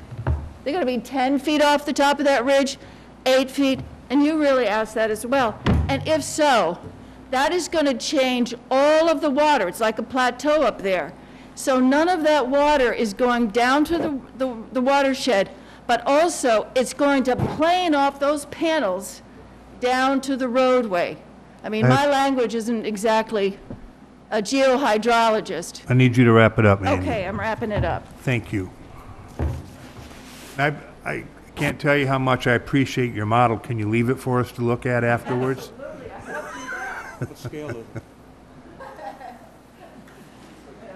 Any more comments from the public? Ken, any comments online? No, no comments online, no hands raised. Okay, with that, I'd entertain a motion to con, do I need to con- do a motion to continue? A- A motion to continue the public hearing? So move. Second. Uh, Having a motion and a second, any discussion? Seeing and hearing none, I'll call for a vote. Date certain, Jo- Oh, uh, I'm sorry, I'm date sorry, certain, Charlie. Rich? Date and time certain? I'm- Date and time certain. You need to include that in your motion. The 23rd at 6 PM. So I'm going to withdraw that motion and make a new motion, and make sure I do this right now, I I know you will, that we continue this public hearing until August 23rd at 6 PM. So moved. Second. Discussion. Hearing and seeing none, I'll call for a vote. All in favor say aye. Aye. Aye. All opposed? Passes unanimously, 500. Good. Okay, oh, I, c- I can still do this. I am going to read into the record a message here from Mr. Eric Lintala. I'm going to leave out the part about email addresses and, and say, um, he has sent an email and it says, attached is a location on the Mass Gov site in parentheses, Department of Conservation and Recreation dash Heritage Landscape Inventory Program, Wareham Reconnaissance Reports, as to where to find the statement pertaining to the, quote, ancient Indian route. There isn't much, but it was important enough to be mentioned in a state report. I appreciate yours and the board's interest and concerns on the Fearing Hill Solar Project. Thank you, Eric Lintala. Um, and Carl, I guess you have this attachment? All right, can we get that posted? Yes. Thank you. All right, moving on. We're going to go to a new public hearing, and there isn't any. Good. Next is any public comment on the master plan, update or new initiatives. This is an opportunity for the public. Annie? And you're going to keep this to master plan updates and initiatives? Thank you.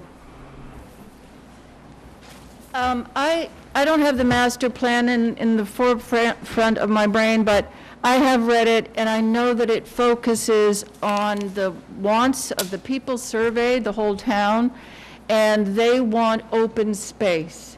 They want open space to preserve the land, they want open space for recreation, all the things we know.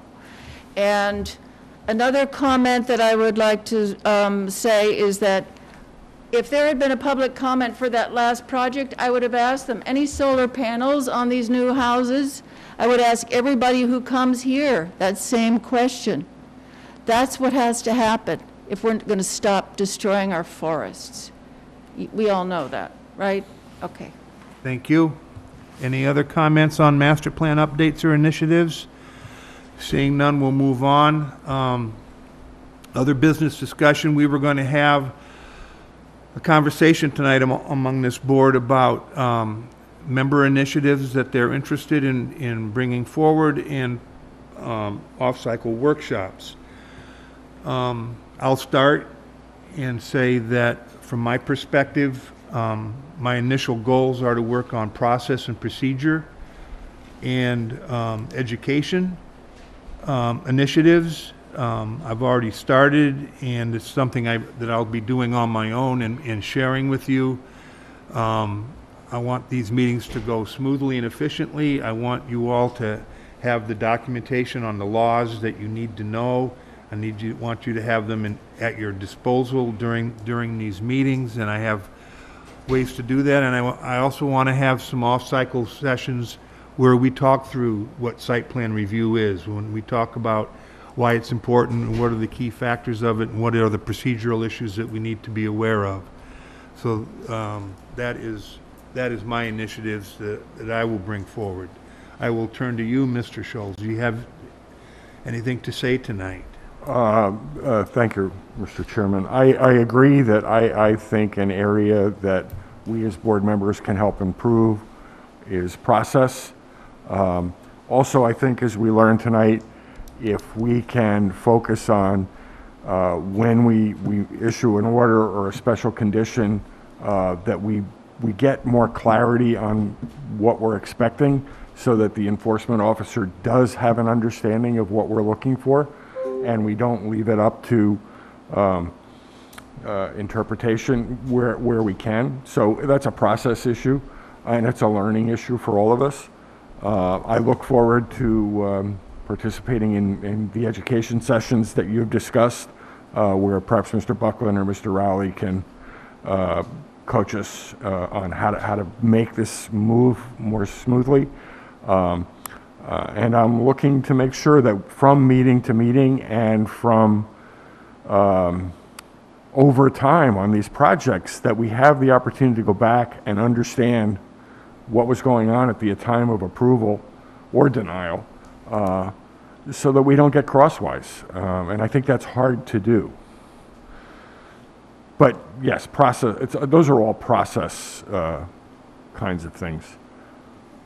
Thank you. Mr. Corbett? Not to repeat what both of you guys have said, but like Mike Baptiste has mentioned, mentioned many times, I, people believe you can do things in Wareham and not have repercussions. I think we need to work on how do we enforce the issues that we talk about. How do we enforce the issues like Winship? How do we enforce the issues? Not be told, well, there's nothing we can do. There has to be something we can do.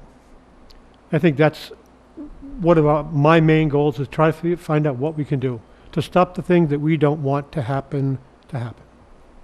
Okay. Mr. Baptiste? Learning every day. Mr. King? I, well, I got to agree as far as the, the processes and, and refinement of our processes. I think that's paramount. Um, we've been kind of uh, uh, on a, a ship without a rudder for a while now, so I think tightening that up is going to help us a bunch. Um, the one thing that I wanted to bring up, it, it really doesn't apply to processes or whatnot, but I wanted to share something with everybody.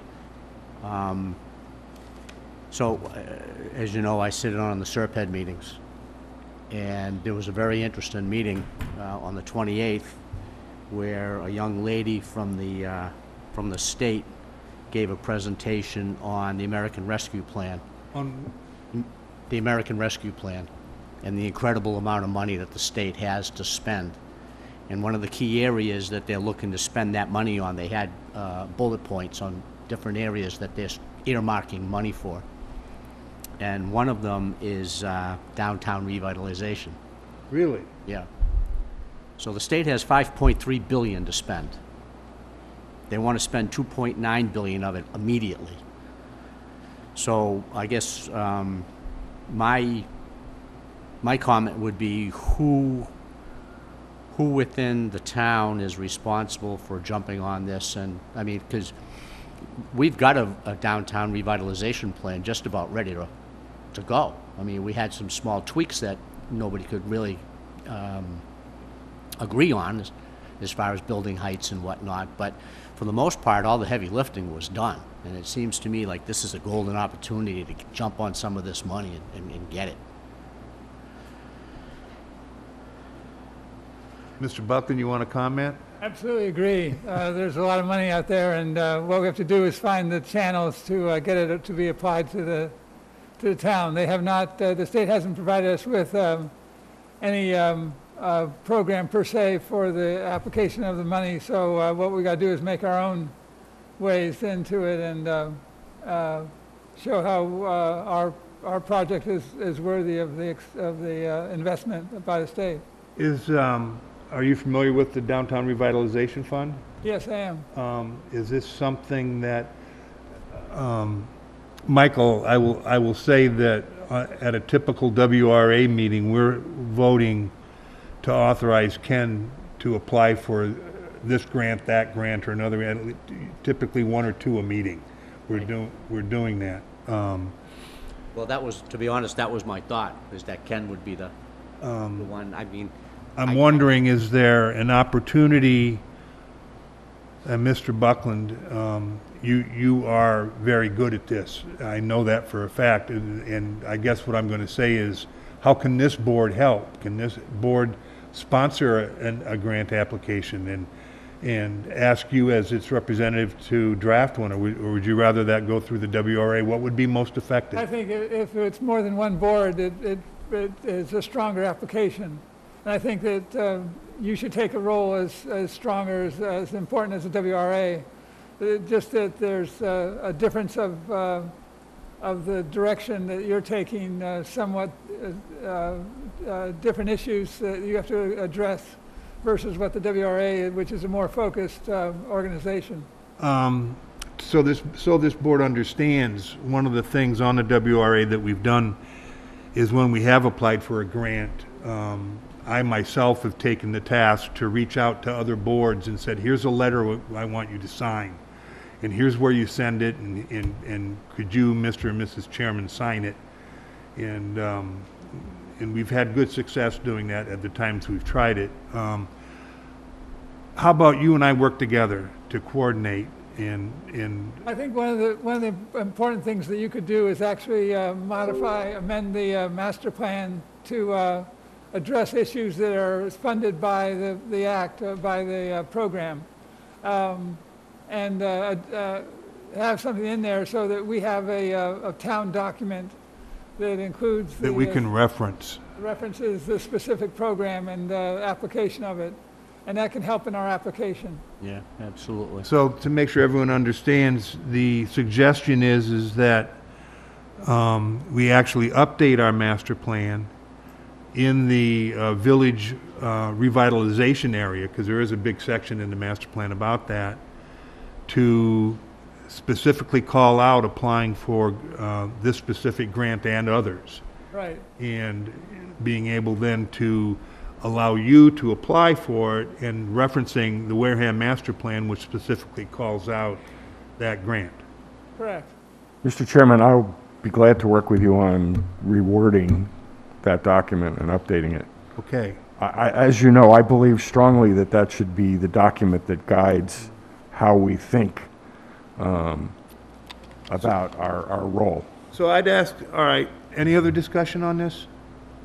I'd ask for a motion, I mean, I'd accept a motion to authorize uh, Mr. Buckland, myself, and Mr. Schultz to work together to bring back to this board a suggested edit to the Wareham Master Plan specific to uh, applying for downtown revitalization grant money, and I think, I think that's about it, right?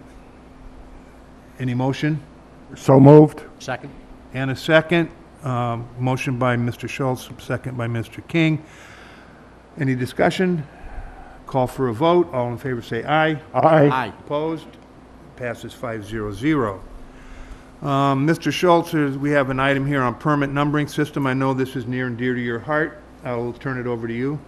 Uh, Yes, um, I've been discussing uh, with Mr. Buckland uh, off-cycle, but one of the things that um, I have observed is that uh, the applicants that come before the planning board uh, often um, come before other boards and, and um, in town, particularly the Conservation uh, Commission, which is another uh, board that I'm very interested in, uh, and, and potentially the Affordable Housing Commission and others.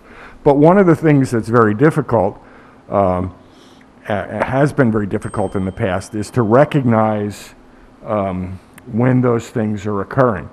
And in particular, when, um, while Mr. Buckland has clear, clearly advised me that, that each board's decisions are their own, and, and as they should be, um, that doesn't mean that we shouldn't be aware of those decisions, and in particular, for us, if there are uh, Conservation Commission uh, considerations for projects that we're approving, we can add conditions to our approvals. So um, one suggestion that Mr. Buckland made is that we could um, revise our numbering process for our project numbers.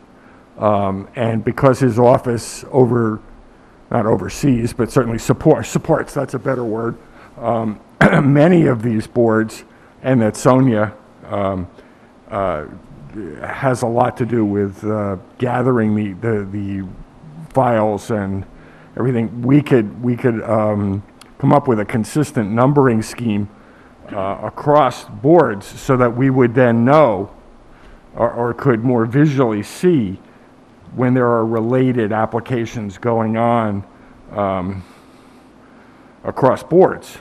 So at least we're aware of them. And Mr. Buckland has made a suggestion um, for how we might do that. Um, And one of the first changes is to preface the project number with the year.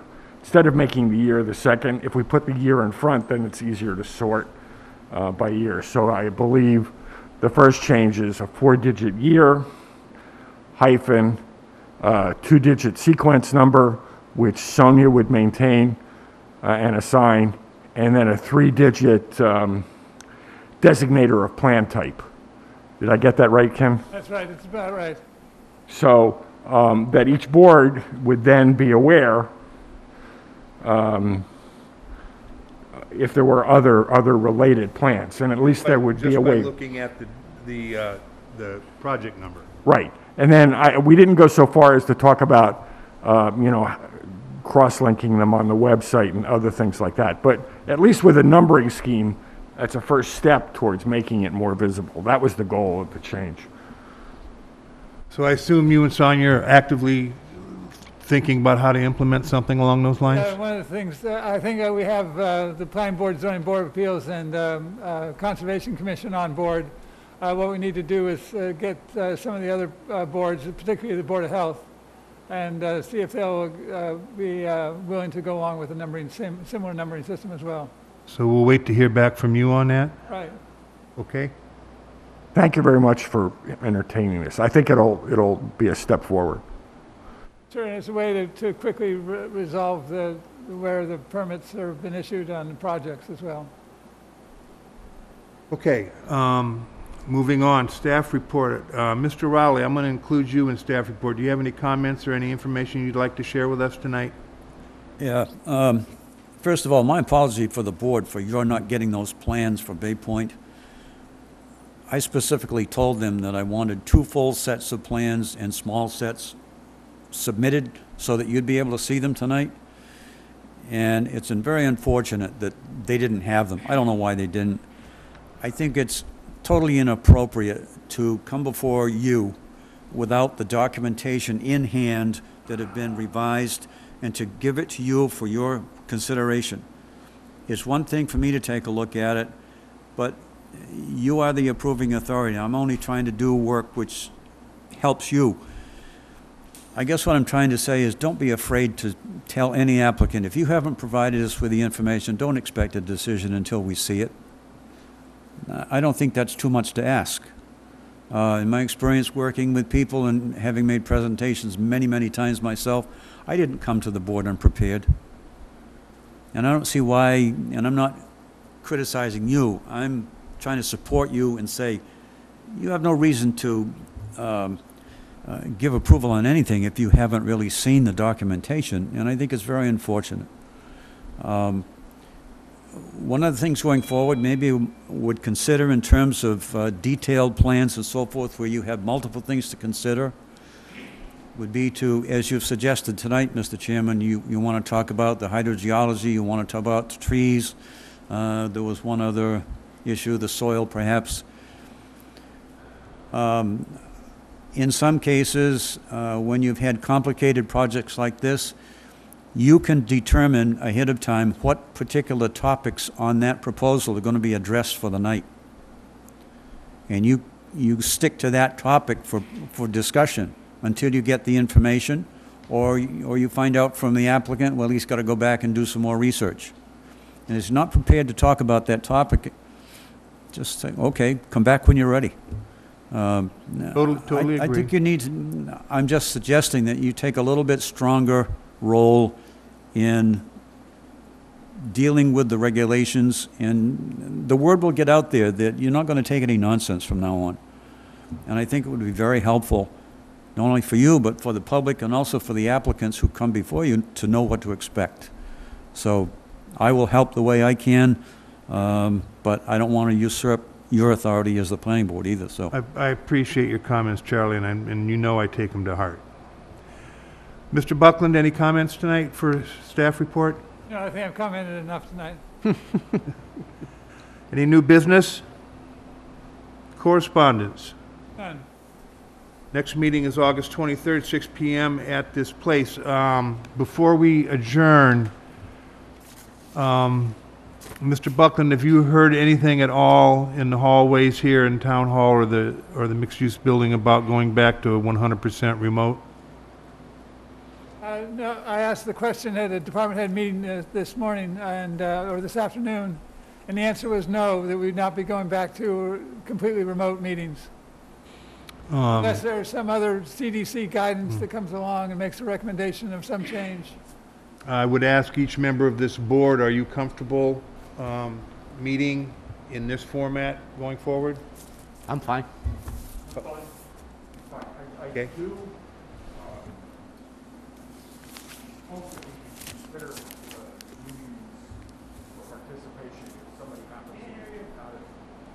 Uh, I do think we should give some thought to allowing participation of board members by Zoom if, for example, Mr. King says he has trouble getting here, or if That- somebody is traveling. That is allowed, and by state law, even the chair can be remote, so. Well, I, I, I think to Cha- to Kyle's point, the whole being in public, for me, it doesn't faze me in the least. Is what? Does not faze me personally in the least.